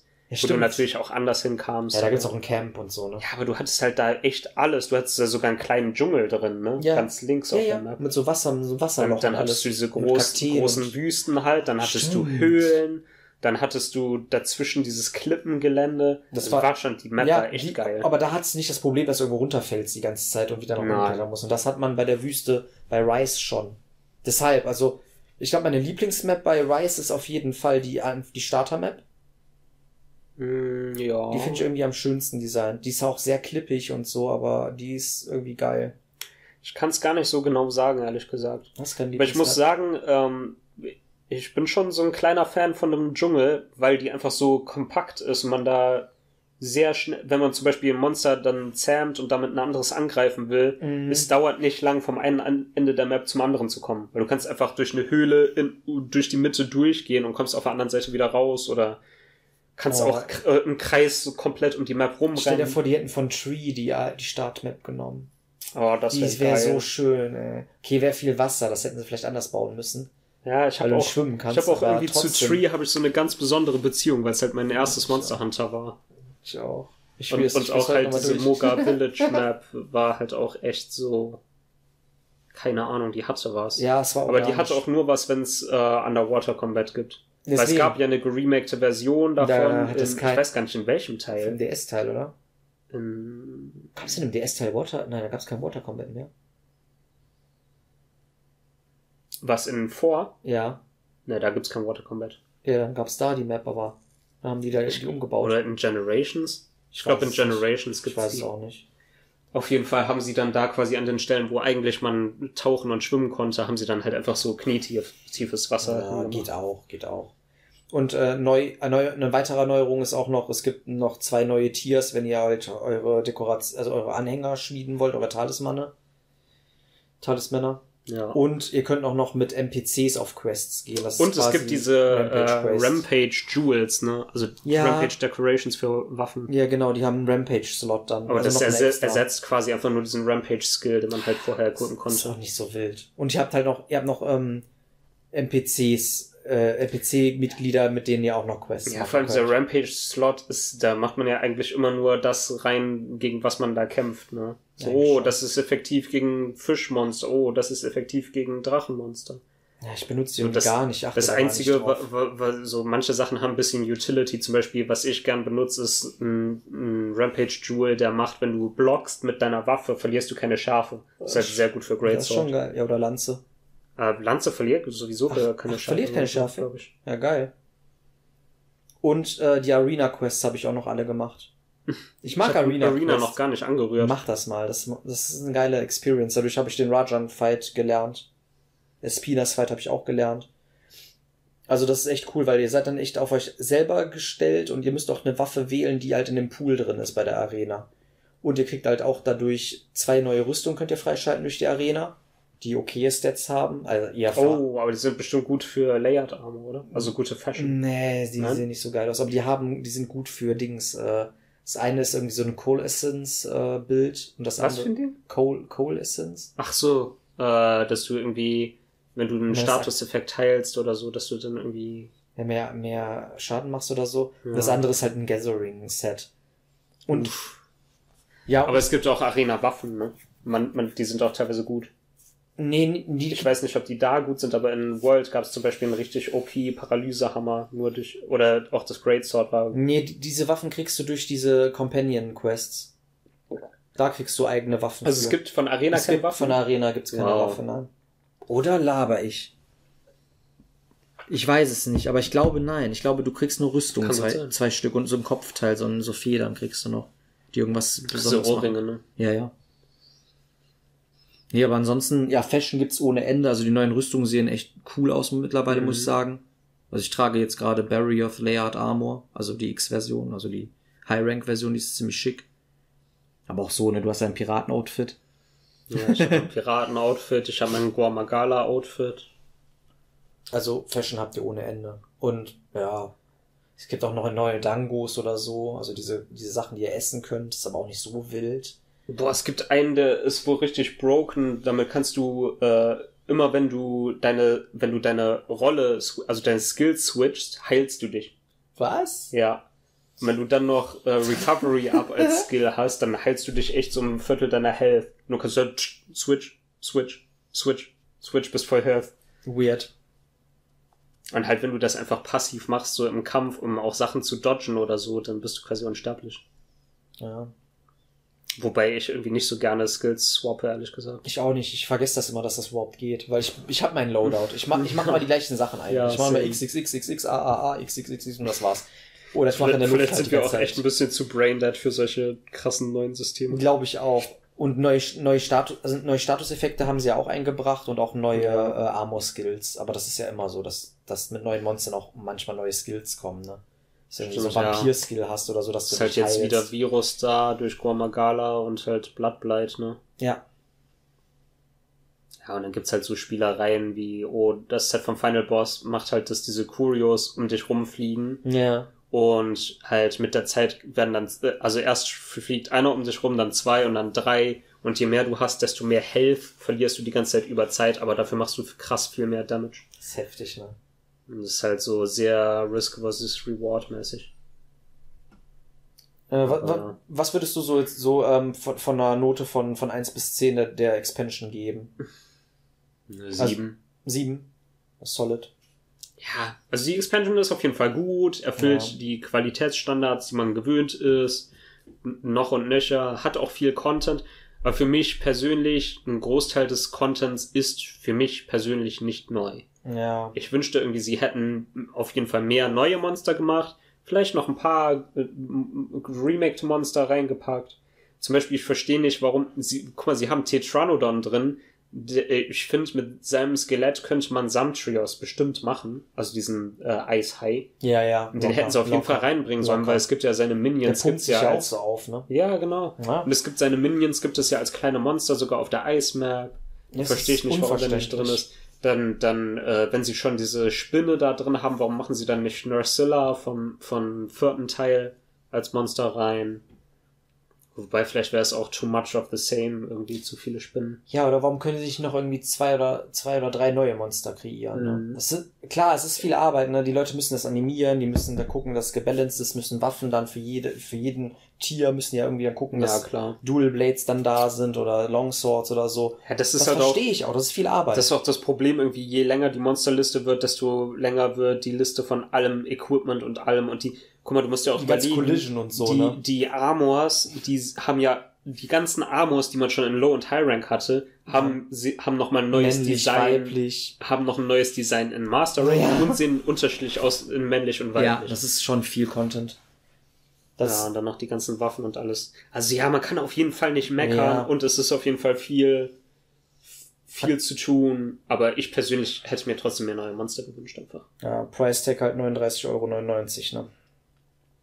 Ich denk mal, also, wenn ihr euch jetzt das Spiel, wenn ihr das Spiel noch gar nicht gespielt habt und euch das Spiel und den DLC holt, Ach. ihr habt so krass Ja, viel Content das- dann und dann kommt jetzt noch immer noch mehr Content dazu. Ja, ich würde auch sagen, wenn, wenn ihr jetzt das Spiel noch gar nicht äh, auf dem Schirm habt oder so, kauft euch erstmal nur Rise und spielt erstmal Rise durch, weil da- damit habt ihr schon an die 30 bis 40 Stunden Spielspaß. Und dann könnt ihr euch immer noch den DLC holen. Und ich kann, kann man den DLC eigentlich schon betreten, wenn man jetzt einen neuen Charakter hat? Ja, ne? Geht das oder ist es Du gegatet? musst, ich glaube, du musst die Story durchspielen. ja, von, von boah, aber, aber du kannst da sehr schnell durchblasten, weil es gibt diese ah, Defender. diese neue Sachen. Armors, ne? Ja, und auch Waffen, ne? Das Ja. easy, ja, einfacher ist. Ja, Ja, aber ansonsten, Ja, weiß gar nicht. Ich hätte auch gedacht, so vielleicht erlerne ich eine neue Waffe oder so. Ich habe halt jetzt ein bisschen Dual Mhm. Blades. Ah, die Dual Blades wurden geil ge ge erneuert. Ja. Die haben jetzt diesen Spiral Slash, dass du halt in ein Monster dich reinziehst und dann halt einfach voll die Combo machst. Äh, Und die haben halt auch jetzt so voll die krassen Attacken, dass du halt ein Monster dran klebst und kannst an dem rumsliden und so Damage machen. Konnten die es vorher auch schon? Das weiß ich nämlich nicht. Mm, Nee, ich glaube, Das ist auch neu, Also ne? Die haben so nicht genau, Area was du Movement meinst, eher. aber- Du kannst irgendwie A drücken, nochmal A drücken und dann bist du an dem Monster so. dran und rutschst Und einmal komplett an Ja, ja, ja, doch, das, Das gab's schon, auch. das gab's schon, ja, ja. Das ist schon sehr stylisch, ich wusste das nicht. Das ist ja quasi die Attacke, die du bei World Ja, auch machen konntest von bisschen ne? Klippen runter Ja, ja. oder so. Genau. Aber die kannst du jetzt Ähm, einfach so machen, ohne Aber du kannst jetzt auch zum Beispiel in der normalen Kom du kannst so eine Round-Slash-Combo machen, da äh, matchst du quasi die ganze Zeit X und wenn du dann in eine Richtung drückst, dann kannst du noch so seitlich dich um das Monster rumbewegen, während du halt weiter slashst und so. Ja, Dual Blades sind sehr spammy, ne? Also eure Joy-Cons werden wahrscheinlich sehr leiden, eure Buttons, eure Main-Buttons, aber die machen schon Spaß. Und halt die, und halt auch die ganze Variation, die ihr halt habt. Ne? Also klar, bei mir ist halt ein bisschen enttäuschend, ne? Dem Bild, den ich vorher habe, ich habe halt diese, äh, diese äh, Insect Glaive, die niemals stumpf wird und die die ganze Zeit crittet. Und die habe ich aus dem Base Game, den Bild. Und den mache ich jetzt Ja. quasi wieder, nur im High Rank oder Master Rank. Also ich habe meine Ja. Taktik überhaupt nicht verändert, sondern ich spiele das gleiche, was ich vorher spiele. Das ist auch so ziemlich ist ein die Meta. traurig. Ich mag halt Ja, gerne das ist teilweise so. Gimmick-Builds. Ich habe mir zum Beispiel eine Mischung aus Malzino und Kushala Daora gemacht, weil äh, Kushala macht halt das, de, du regenerierst dir die rote Portion, wenn du Schaden gekriegt hast, an Energie und darüber hinaus dann aber nichts mehr. Ne? Genau. Und mit Kushala kannst du dich halt darüber hinaus regenerieren, das heißt, du kannst dich komplett voll regenerieren. Voll geil. So. Und dann equipst du dazu noch Recovery Speed ab, dass du dich viermal so schnell regenerierst und dann noch den Skill Recovery ab, dass du, wenn du Energie dazu bekommst, das mehr ist Ja. und dann regenerierst du dich halt ziemlich schnell. Dazu dann noch der Masino-Skill, wenn du kaputte Körperstellen an Monstern triffst, noch heilst du dich. heilst, ja. Das heißt, du hast dann quasi so ein un Ja, bist unkillable äh, Vampirbild. so. Ja, ist cool. Es ist halt ein cooles Gimmick, so, aber du machst halt dann dadurch halt Wenig Schaden. wenig, also was nicht wenig Ja, Schaden, weniger. weil du machst ja auch viel Schaden dadurch, dass du einfach nicht heilen musst, ja. aber halt äh, es ist halt nicht die Meta oder so. Ne? Halt, wenn du wirklich effektiv spielen willst, dann machst du halt auch echt ein Crit-Bild, noch mit Crit-Boost und vielleicht noch ein bisschen Attack ab, wenn du es reinkriegst. Mit, mit Pink Sharpness und mit Master, Master, wie heißt es, Masters Touch? Ma Masters Touch, ja. Dass du bei Crits keine, Keine Schaden, verlierst. das ja, ist und Razor halt- Sharp ist auch ganz gut. Ja.